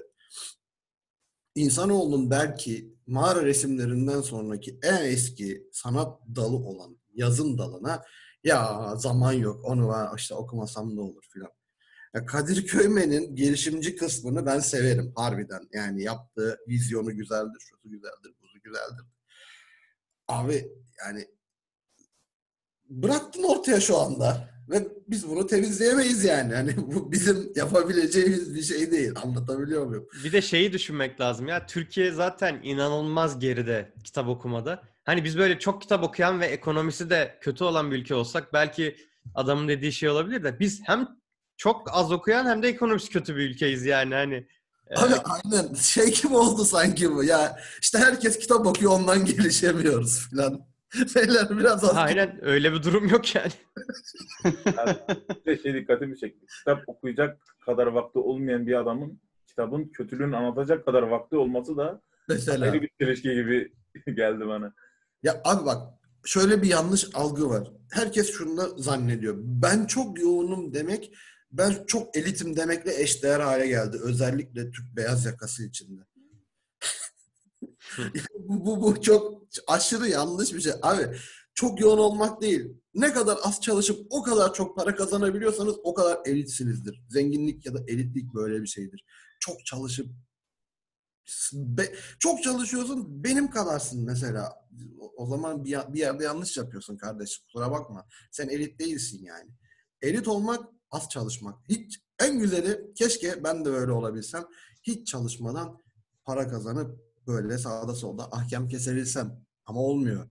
Ne yapıyorum sonra? Kitap okuyorum ve Kadir Köymen'e laf ediyorum. Yanlışlardayım galiba. Bilemiyorum. Sen öyle deyince aklıma şey geldi. Bizim e, Süleyman hepiniz tanıyorsunuz. Evet. Süleyman hep şey diyorlardı. daha doğrusu genel memurların maruz kaldığı standart şey şu. Memurlar ne iş yapıyor ki bu kadar maaş alıyor? Bir şey var. Ee, Süleyman'ın verdiği cevap Ya onu ara ara ben de düşünüyorum ya. Süleyman'ın e, verdiği cevap benim için efsaneydi. Hayatımın geri kalanında mutlaka kullanacağım bir cevaptı. Şunu dedi. Ben çalışmamak için memur oldum. Çalışacak olsam okumazdım dedi. Benim için bitti. Ve cevap verdiği kişi için de bitti. Muhtemelen daha kimseye sormayacak. Bana da soranlara bu cevabı vereceğim artık. Çok mantıklı. Çalışmamak için, hani daha az çalışmak için, daha rahat ortamda çalışmak için memur oldunuz. Bir, e, tam kimseyi küçümsemiyoruz ama hani imkanları el vermeyip de memur olamayıp daha kötü şartlarda çalışan insanlar var. Ya onlar da isterdi memur olmak ama çok çalışmak isteseydim herhalde ben de onlar gibi olurdum. Neden çok çalışmak isteyeyim ki? Hani hepimiz kendi içerimizde birer çalışmak istemeyen değil miyiz? Ben öyleyim abi. Bilmiyorum ben mi öyleyim sadece. Yani niye insan çalışmak istesin ki? Kendine yatırım yapmak ayrı bir şey ama hani gidip halde sandık kaldırmayı kim ister ki? Hani yapan da istemez bence. Yapmayan da istemez. Ya bir de şö- şöyle bir yanılgı var. Yani e, kendine yatırımı başkaları için yaptığını zannediyor etrafındakiler. Yani ben kitap okuyorum. Ben neden kitap okuyorum? Etrafımdakiler beni daha çok sevsin diye değil. Ben hayatı daha iyi anlamak için ya da varoluşu daha iyi yani çözebilmek için vesaire kitap okumaya çalışıyorum. Ama adam orada gidiyor benim ırkımdan değil diye diğerine ateş ediyor ya da benim dinimden değil diye diğerine ateş ediyor. Şimdi Rick and Morty'yi izleyen var mı bilmiyorum. Final sezonunda yeni bir bölüm çıktı. Yeni bölüm derken herhalde iki bölüm öncesi filan. Bir gezegen keşfediyorlar. Gezegende sadece yılanlar yaşıyor. Yani sadece yılanlar yaşamıyor ama biz nasıl bu gezegenin hakim cinsi isek o gezegenin hakim cinsi de yılanlar. Böyle helikopterler, uçaklar filan yapmışlar işte ana karakter şey diyor diğerine ne kadar saçma değil mi? İşte aralarında ırk savaşı yapıyorlar. Halbuki hepsi aynı. Birbirlerini öldürüyorlar filan diyor. Orada oturup düşünüyorsun abi. Yılanlardan oluşan bir gezegen var ve farklı çıngıraklı yılan kobra yılanına ateş ediyor. Yani hani neden aynı ırktan değiliz diye filan. Şimdi sen Allah aşkına bu adamı ya da bu yılanı alıp bu yılana kafasına şu kitapla vurursan ki buradaki alegoriyi anlamışsınızdır. O yılan en azından bir daha tetiğe asılırken bu kadar aceleci davranmayabilir. O yüzden Kadir Köymen'in dediği çok anlamsız ve çok garip bir şey yani. Şunu yapabilirsin. Bir insan olarak bir silah yapacaksan o silahı yapmak için erişmek zorunda olduğun kaynakları çok hızlı evet bulabilirsin. Ama o silahı ne zaman kullanman gerektiğini yani sana bu kitap öğretir. Yani öyle bir şey söylemek istedim sadece. Evet, bu arada çalışma konusunda yani ben e, o kadar şey değilim hani e, hani az çalışalım falan e, modunda değilim. Ama yani bu şeyi hani çok çalışıyorum, kitap okuyamıyorum. Bunun bir şeyi değil, e, mazereti değil yani kesinlikle. İlla ki zaman bulunur. Televizyon izleme kardeşim yani. Mesela biz genellikle çok az televizyon izliyoruz. Özellikle işte kızımız doğduğundan beri zaten çok imkan da olmuyor. E, ama Hani izleme televizyon. Ne var ki televizyonda? Açıyorsun haberleri izliyorsun. İzleme kardeşim. Twitter'a bakma. Yani oradan zaman yapabilirsin. Ya da işte diyelim ki e, işe gidip geliyorsun serviste ya da arabanla. E, tak kulaklığı şey dinle, sesli kitap dinle. Hani var yani her zaman imkanı var bunun. Hani o açıdan zamanım yok hakikaten. E, biraz şey, e, o senin hani kendi uydurduğun bir e, yalandan bir sebep aslında yani. Erhan bu arada senin e, daha söyleyeceğin bir şey var mıydı? Hani sözün yarıda kaldığı için e, Yani- kopmuş olabilir. Ha, yo yo zaten hani daha ilgimi çekecek daha güzel konulara getirdiniz siz genel konuşmayı. Ee, geçen Ekşi Sözlük'te bir entry vardı. Bayağı beğeni almıştı. Benim de çok hoşuma gitti. Ee, başlık şöyle bir şeydi. İşte çok paranız olsa satın almak isteyeceğiniz şey gibi bir şey. Cevap olarak da birisi tek bir kelime yazmış. Çalışmamak. Hakikaten yani çalışmamaktan daha çok satın alabileceğiniz bir şey yok. Ben de Eren'e katılıyorum. Daha yoğun olmak, daha önemli insan olduğunuz, daha değerli insan olduğunuz anlamına gelmiyor. Hatta birçok vakada çok yoğun olmanız daha çok sömürülüyor olduğunuz anlamına geliyor. Yani bu da sizi daha önemsiz ve meta yapıyor aslında. Yani eee, şimdi eğer böyle çok çalışmak, çok başarılı olmak, kariyer yapmak, almak, yürümek önemli ve değerli bir şeyse o zaman e, Sinoplu Diyojen tarihin en değersiz insanı olsa gerek. İçi içine yan gel yat, hiçbir şey katkıda bulunma. Ama öyle değil. Yani o yüzden de tüketmek, bilgi de bu arada tüketilen bir şey olduğunu artık iyice görmeye başladık. Yani tüketmekle kitap okumak arasında öyle ters bir korelasyon var. Ee, evet, kitap okumak zaman gerektiriyor. Ama boş insan olmayı gerektirmiyor. Zamanla e, boşluk, doluluk arasında bir korelasyon yok bence. Hatta işte dediğim gibi ters korelasyon var. Yani e, tamam çalışmamız lazım. Tamam tüketen insanlarız. O yüzden kişi başına düşen bir üretim sorumluluğumuz var. Tüketiyorsak üretmek zorundayız. Ama Eren'in dediği gibi yani Türkiye gibi bir yerde. Keşke derdimiz hani insanların çok kitap okumasından yani entellikten keşke iş yapmasak da böyle ondan dolayı olsak.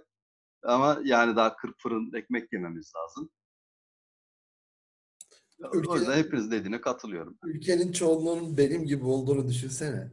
Böyle hiçbir şey yapmadan konuşan tipler var. Birbirlerini aşağılıyorlar.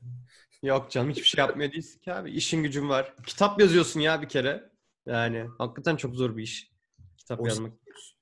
Yani ben bir blog yazısı yazarken bile böyle kıvranıyorum yani. Hakikaten kolay bir iş değil yani. Ya işte hayırlısı be çare bilmiyorum şimdi. Evet. O işte bence Incognito kitabında güzel bir şey vardı. Hatta bu bir tartışma çevirdik. Kitapta 7. sayfada şöyle bir satır var. Dün altını karaladığım için tam hatırlıyorum. Diyor ki Goethe'ye e, genç Werther'in acılarını nasıl yazdığında sorulduğunda şey demiş işte. Sanki e, kalem kendiliğinden akıyordu. Ben sadece kalemi tutan eldim. Yani bir anda şey yapıp gitti. Bunun başka örnekleri de var. Ee, kitapta, Incognito kitabında şöyle bir yorum getiriyor duruma. Diyor ki, bilinç altında yıllar içerisinde alt bilinciniz şeyi hazırlar. Verileri hazırlar. Analizini yapar.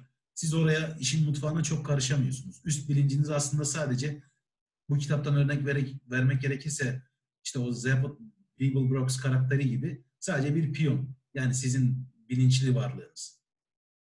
Kararı ben verdim, tamamen ben karar aldım sandığınız anda bile beyninizde işin mutfağında bilinç altında bir sürü sizin giremediğiniz işte verileri korumalı bir alanda acayip işler dönüyor. Hem biyolojik, hormonal hem de e, şey düşünsel, fikir, fikirsel manada. E, Eren gibi birinin işte çok okuyan birinin e, nasıl diyeyim senin gibi, Çağrı gibi blog yazısı yazabilecek çoklu böyle disiplinlerle uğraşan yani buradan herhangi birini örnek verebiliriz. Bu büyüklenme anlamında söylediğim bir şey değil. Bir sürü şeye ilgi duyan, kendi mesleğinden ya da hayatını adadığı işten bağımsız işte ya Eren elektrik elektronik mühendisi ama bu adam tarih seviyor, bu adam dil seviyor, bu adam işte coğrafya öğrenmekten hoşlanıyor, gezmekten hoşlanıyor vesaire bir sürü şeye normal sıradan insanların daha üstünde bir ilgi ve merak seviyesi var. İşte Erhan yine beyaz yaka diyebileceğimiz sıkıcı bir işte çalışıyor. Yani bir çeşit memur. Sıkıcı bir işi var ama ikinci bir Erhan karakteri var. Birisi saatini devlete satan Erhan karakteri. 10 saatini devlete satıyor. 8 saat iş işte 2 saatlikte git gel tıraş ol vesaire duş al. Günlük 10 saatini devlete satan bizim gördüğümüz bir Erhan karakteri var. Ama bir diğer Erhan karakteri var. İşte bilgisayar oyunları, strateji oyunları oynamaktan hoşlanıyor. Ne bileyim, tatil yapmaktan, farklı yerleri görmekten hoşlanıyor. İngiliz mizahından vesaire. Bunu, bunu genişletebiliriz. Bu adamların farklı böyle ilgilerinin, alakalarının olması şeyi doğuruyor. Bilinç altında çok büyük bir yerden beslenmeyi doğuruyor aslında. Farklı böyle nasıl diyeyim alanlardan beslenmeyi doğuruyor. Gibi bir adamda nasıl ortaya çıkıyor bu şey? Yani bunların tezahürü. Bir anda yazmaya başlıyor. Eren bana daha önceden çok gönderdiği taslaklar var işte. Parça parça oku da yorum yap diye. Benim de hayvan gibi okuyup yorum yapmadığım ya da hiç okumadığım şeyler de var. Buradan kendisinden özür dilerim. Kendimi gömdüm, sen gömme diye. Aynısı aynısı Erhan'da da var. Sıkıntı yok. Ya Herkes. Ben Ben- okuyorum. Az kaldı. Az kaldı. harbi mi beğendin mi? Hadi ilk şeyi burada yap. bana. Şu ana kadar beğendim. Yok şu anda şey yapamam. Fikirlerimi toparlamadım. Az Eyvallah. kaldı. Döneceğim sana. Arayacağım. Ama Eren'de bu bir yetenek olarak şöyle ortaya çıkıyor. E, Eren bilinçaltındaki o düzensiz bilgileri üst bilinciyle düzenleyip toparlayıp bizim anlayabileceğimiz mantıklı bir e, nasıl diyeyim kronolojiye döküp bize aktarabiliyor, söyleyebiliyor. Eren bu işi yazılı iyi yapabiliyor. Atıyorum ben bu işi sözlü iyi yapabiliyorum. Erhan bir videoda iyi yapabiliyor gibi. Ya Eren'in Eren'inki mesela yazmak ciddi bir yetenek.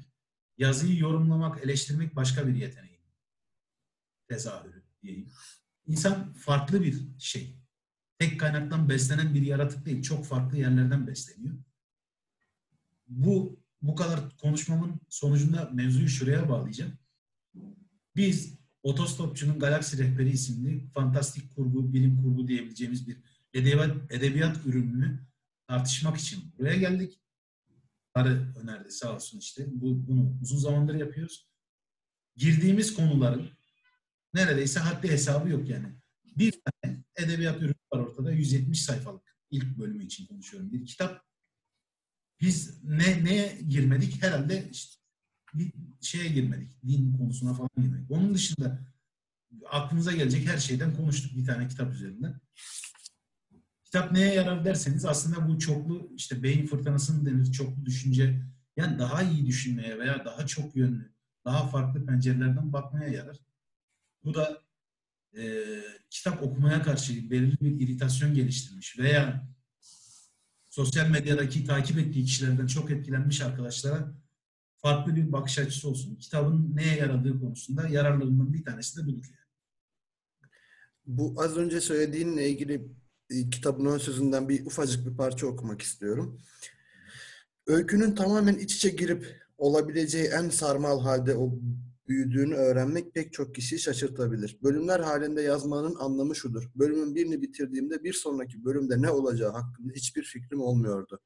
Öykünün kıvrılıp yön değiştirdiği noktalarda bir takım olaylar daha önce olup bitmiş bir şeyleri aniden aydınlatıverirken ben de herkes kadar şaşırıyordum demiş kitabın Ha, süper. yazarı. Yani anlatmaya çalıştığım şey buradaki Dilşat'ın teorisi doğru. Eğer bir yazınla uğraşırken ben oturup da yazayım derseniz yazamıyorsunuz. Yani onun bir gelmesi lazım. Tabii oturup da yazayım derseniz de yazabilirsiniz ama mekanik oluyor, farklı oluyor o zaman. Bir çeşit taşkınlık durumu oluyor işte. Sen biriktiriyorsun ve taşıyorsun. Taşınca da kağıda döküyorsun veya işte bir- Benimki yavaş biriktiği için 9 yılda bir kitabın üçte birini yazabildim yani. Ee, inşallah daha hızlı, daha ilerleyen dönemlerde hızlanacak. Neyse. Evet. bence yeterince ilerledik diye düşünüyorum. Hatta kitabın sonuyla ilgili sormak istediğiniz şeyler yoksa artık yavaş yavaş çağırın. Bence de kapatalım. Evet ben de öyle diyecektim. Yani zaten kitabın sonunda e, onunla şey e, artık dinleyicilere, izleyicilere bırakalım. Bir şey söyleyeceğim. Bu ilk oturumda Otostopcu'nun Galaksi rehberi hakkında sorunu söylediğim için e, beni eleştiren arkadaşa şunu söylüyorum. Yok direkt Ben- söven bir arkadaş var. Bir dakika, bir dakika. Ben de söylemiştim galiba. Ben mi? Ben söylemiştim sanki. Ben- Tam da hatırlayamadım da. Spoiler veriyorum. Dünyanın, evrenin ve her şeyin cevabı 42. Ya zaten yani Öyle bunda mi? ne var arkadaş? Şurada kocaman 42 yazmışlar ya. Yani bir de o Ben- kadar üstünden 40 yıl geçmiş bir kitaptan bahsediyoruz. Hani bu olay bence de çok komik ya. Spoiler vermenin ne yani? Çok bir şeyi yok. Şey Ya Gökhan de e, biz Gökhan sesin Bana- kısılıydı galiba. Seni duyamadık. Ben de diyorum yazmıyordu. Spoiler'ı aldım şu anda. Ben nasıl Aldın değil mi? Ha sen de yazmamışlar mı? Burada direkt kocaman burada. yazıyor 42 diye. ya Yani- bu arada na- nasıl 40 yıllık basım olan bir edebiyat ürünü bunu daha önce de konuştuk da abi yani bir yerde denk gelirsin. Bir de bizim düştüğümüz ikilemi de e, şey yapın izleyicilere dinleyicilere söylüyorum. Siz de farkına varın. Yani bu işi yapıyoruz. Bir kitabı okuyup yorumluyoruz kendimizce. Neler düşündüğünü 4-5 farklı koldan kaynaktan size aktarmaya çalışıyoruz. Şeyi de çok e, kestiremiyoruz. Biz bu kitabı hiç bilmeyen daha önce referans olacak bir adama mı örnek verelim, anlatalım veya daha önce okumuş bir adama e, farklı bir gözden aa hocam bak bu da var mı diyelim. Onu da çok kestiremiyoruz. Siz de bizi bu konuda mazur görün. Bazen içeri girip spoiler verip bazen de hiçbir şeyden bahsetmediğimiz de oluyor. Yani Eren'e sövmenin burada çok bir mantığı yok ya da bana ben de yapıyorum bunu. Eren bununla ilgili bir spoiler vermişti. Ekşi Sözlük'ten bir arkadaş bayağı hafiften kalayladığını söylemiş. Ee, işte bunu ben de yapıyorum. Erhan da Çağrı da kim denk gelirse yapabilir. E siz de bizi burada anlayın yani. Hani kime anlatıyoruz biz bu kitabı çok da kestiremiyoruz. Hiç okumamış adamı mı yoksa okumuş bunlar ne diyecek acaba? Farklı bir yorumları yok, olacak mı? Bence iki gruba da hitap eder.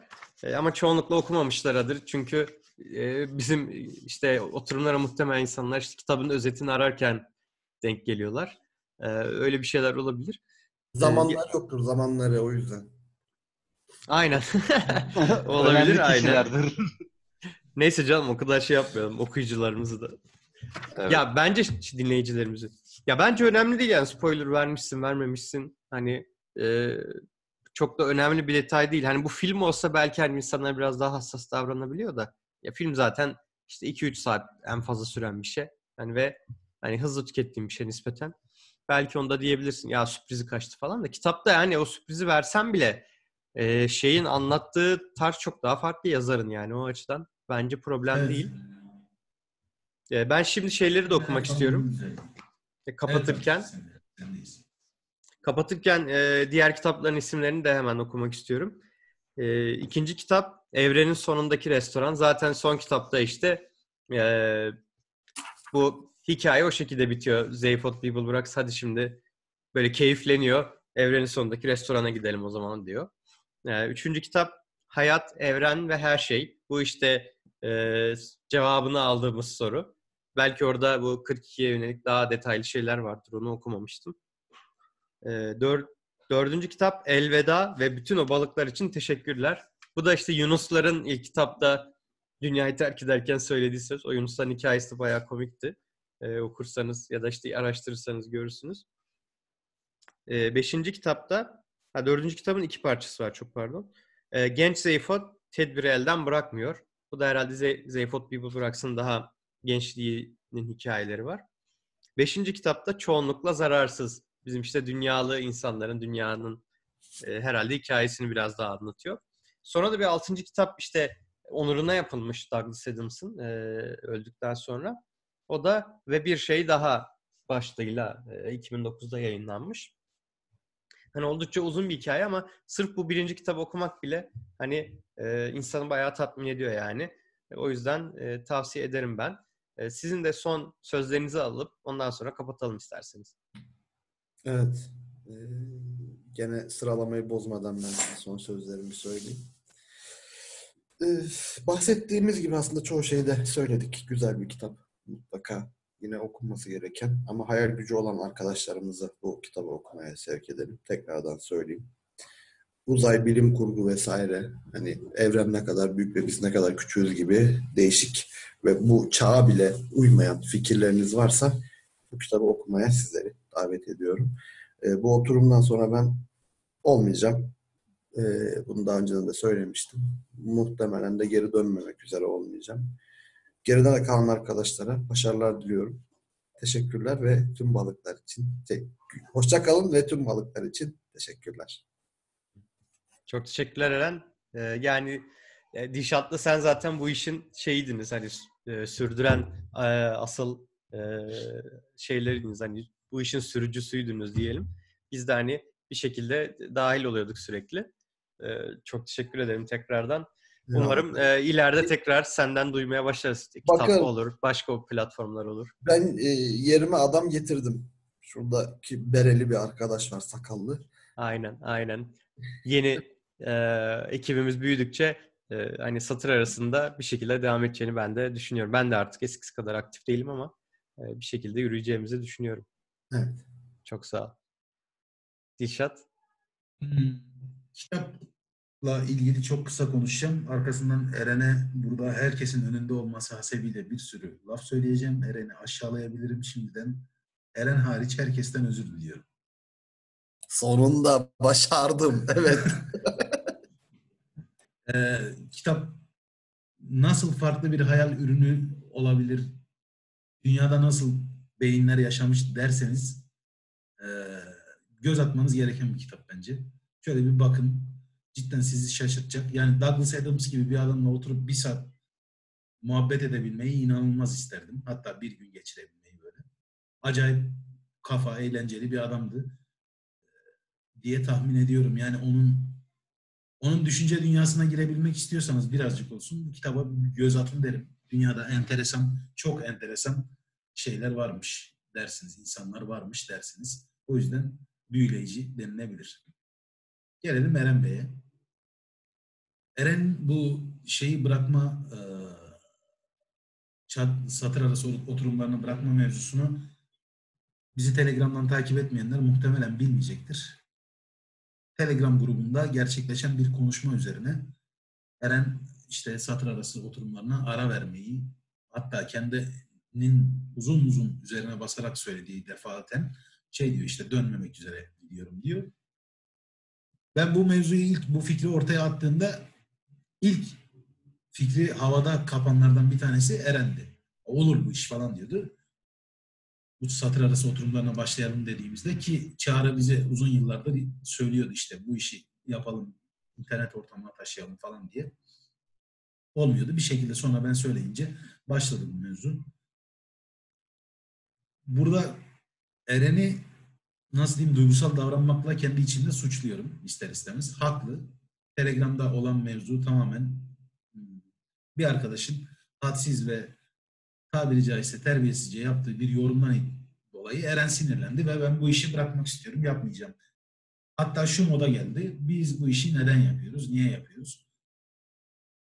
Ben o zaman da söyledim. Bana bu işi neden yaptığımı soran kardeşim dedi ki işte YouTube'a videoyu neden koyacaksınız tarzında konuşma yapmıştı. Amacınız ne diye. Ben de ona şey demiştim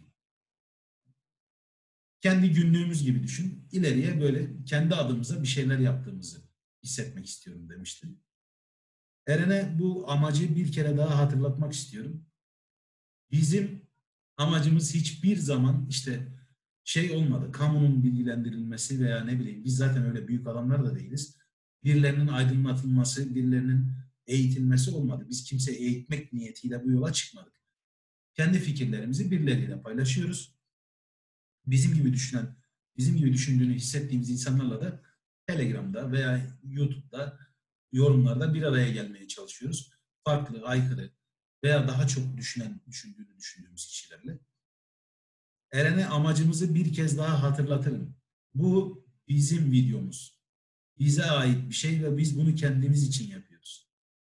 Ne şey için, kamunun bilgilenmesi için, ne birilerine eğitmek için yapıyoruz. Bu bize ait bir şey o yüzden bu geri dönüş olmamak üzere gitmek mevzusunu bir kez daha düşünmeye kendisini davet ediyorum ve amacımızı tekrar hatırlatıyorum. Söyleyeceklerim bu kadar. Teşekkürler Dişat. Belki Eren de ileride Teoman gibi tekrardan döner. Bu iyiydi. Sonra da kitap yazarsın satır arası. Gittim ve döndüm. Satır arasını kırk Aynen. Gökhan senle devam edelim. Sen ne düşünüyorsun kitap hakkında? Yani, yani bir son kapanışta. Konuşmam giriş gelişme sonuçta giriş gelişme giriş gibi olacak. Hani e, en başta söylediklerime halen katılıyorum. E, hiç şey yok. E, ekleyeceğim bir şey yok. Kitap zaten ilk bölümünü okuyabildik. Genel itibariyle hani e, konuşmaların üzerine de söyleyebileceğim artı eksi çok fazla bir şey yok. Kitap gayet güzel. E, kitapta yalnız anlamadığım ufak bir şey var. Kapanışa çok eklemek e, hoş olmayabilir ama e, Vogonların en kötü şiir yazan üçüncü bir ırk olduğu söyleniyordu. İkincisi de bir ırktan bahsediyordu. E, şiire başladıktan sonra dört kişinin iç kanama geçirip ölmesinden bahsediyordu.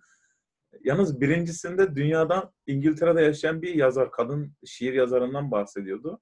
Kurgu bir karakter miydi yoksa e, gerçekten böyle biri var mıydı? Bilmiyorum. Bak, bakacaktım. Unuttum açıkçası. Onu e, bilen var mı diye soracağım bir son olarak.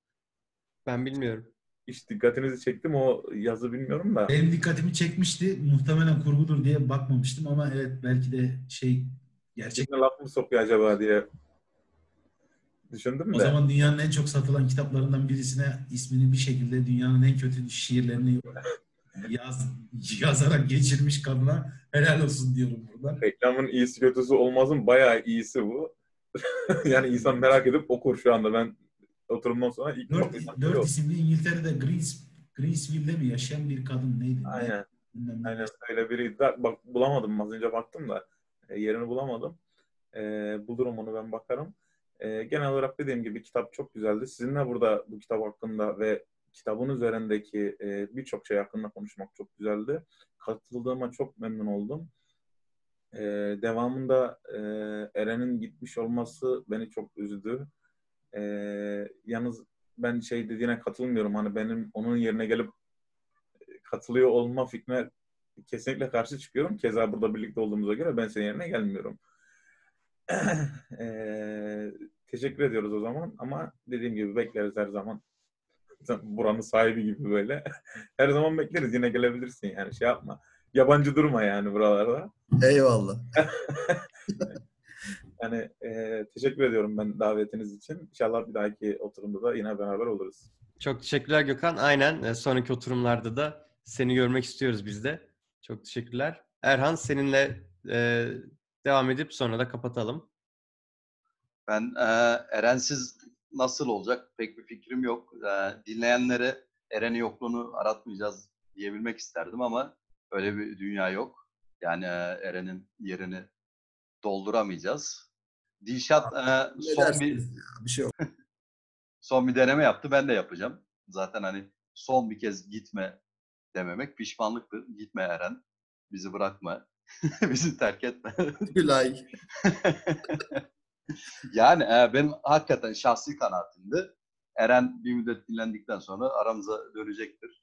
Yani bütün sohbetlerimiz Eren'le yani hepinizle olduğu gibi Eren'le keyifli oluyor ki Eren içimizdeki e, tek yazar ve biz de kitaplardan konuşuyoruz. Yani böyle bir hazineyi kaybetmiş olmak bizim için ya, gözünü kayıp olacak. Ya Dişat mantıksal denedi. Ben de bir duygusal denemek istiyorum. Baş onları. İkna etmek için. Hepimiz birbirimize gerçek hayatta nasıl hitap ettiğimizi biliyoruz. Böyle şeylere gerek yok. Yok sö- söyle, söylediğimde ciddiyim. Madem madem gidiyorsun arkandan övelim seni de.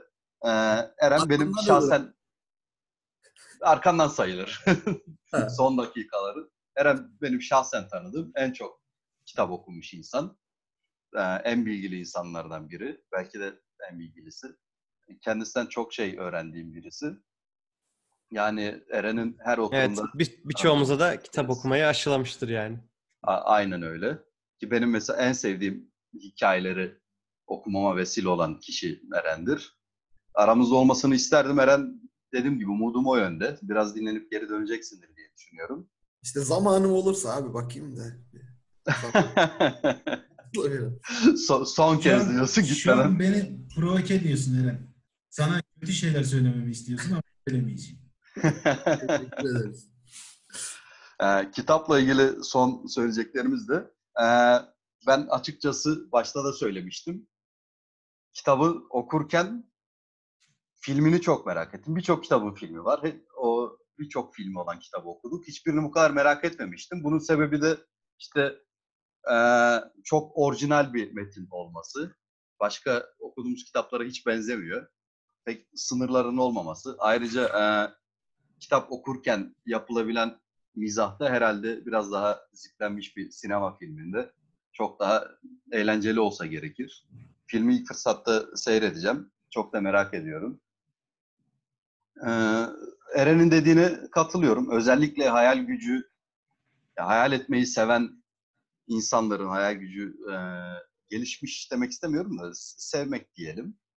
Özellikle okuması gereken ama herkesin de okuyabileceği, okuyup sevebileceği bir kitap. İnek olsun olmasın. Ee, yarı inekler de anlayabilir ama hiçlik olmayanlar anlamazlar. Yani herkes okumak zorunda değilmiş demek ki. Kendi kendime hemen bir dakika içerisinde çürüttüm. Ee, kitabın ben diğer bölümlerini de yani daha doğrusu diğer kitapları da okuyacağım. Yani e, ne kadar beğendiğimle ilgili görüşümü de bu şekilde ifade edeyim kısa sürede bitireceğimi tahmin ediyorum. Hmm, Gökhan'a bu arada hoş geldin dememiştim en başta. Şimdi söyleyeyim. Gökhan aramıza hoş geldin. Yani çok ilk sen ben de katılacağım dediğini duyduğumda çok sevinmiştim. Sevinmekte ne kadar haklı olduğumuzu gördük. Ee, şeye de katılıyorum. Sen dedin yani ben Eren Eren'in yerine gelmedim diye. Doğru şimdi Gökhan'ın üzerine de öyle bir yük yükleyip kaçmak da Eren yani biraz Tam sen- sana, sana yaraşır bir hınzırlık. Aynen öyle. İhale hani. Ben, ben şahsen yani hani Eren'in yerini doldurma yükünün altına girmem. Gökhan da girmemek istemesi gayet doğal. Ee, dünyada Eren'in yerini tutacak insan az Eren. Bak yüzüne yüzüne övüyoruz. Yani daha ne diyelim Eren gitme. Tamam, tamam. Hadi kapatın kapatın. Hadi hadi. Çok teşekkürler Eren. bu kadar. Evet. e, gerçekten çok keyifli bir kitaptı. E, bakalım bir sonraki kitap hangisi olacak? Bu yani bu tüm seriyi herhalde devam ettirmeyiz çünkü genel olarak o hissiyatı vermiş olduk bence.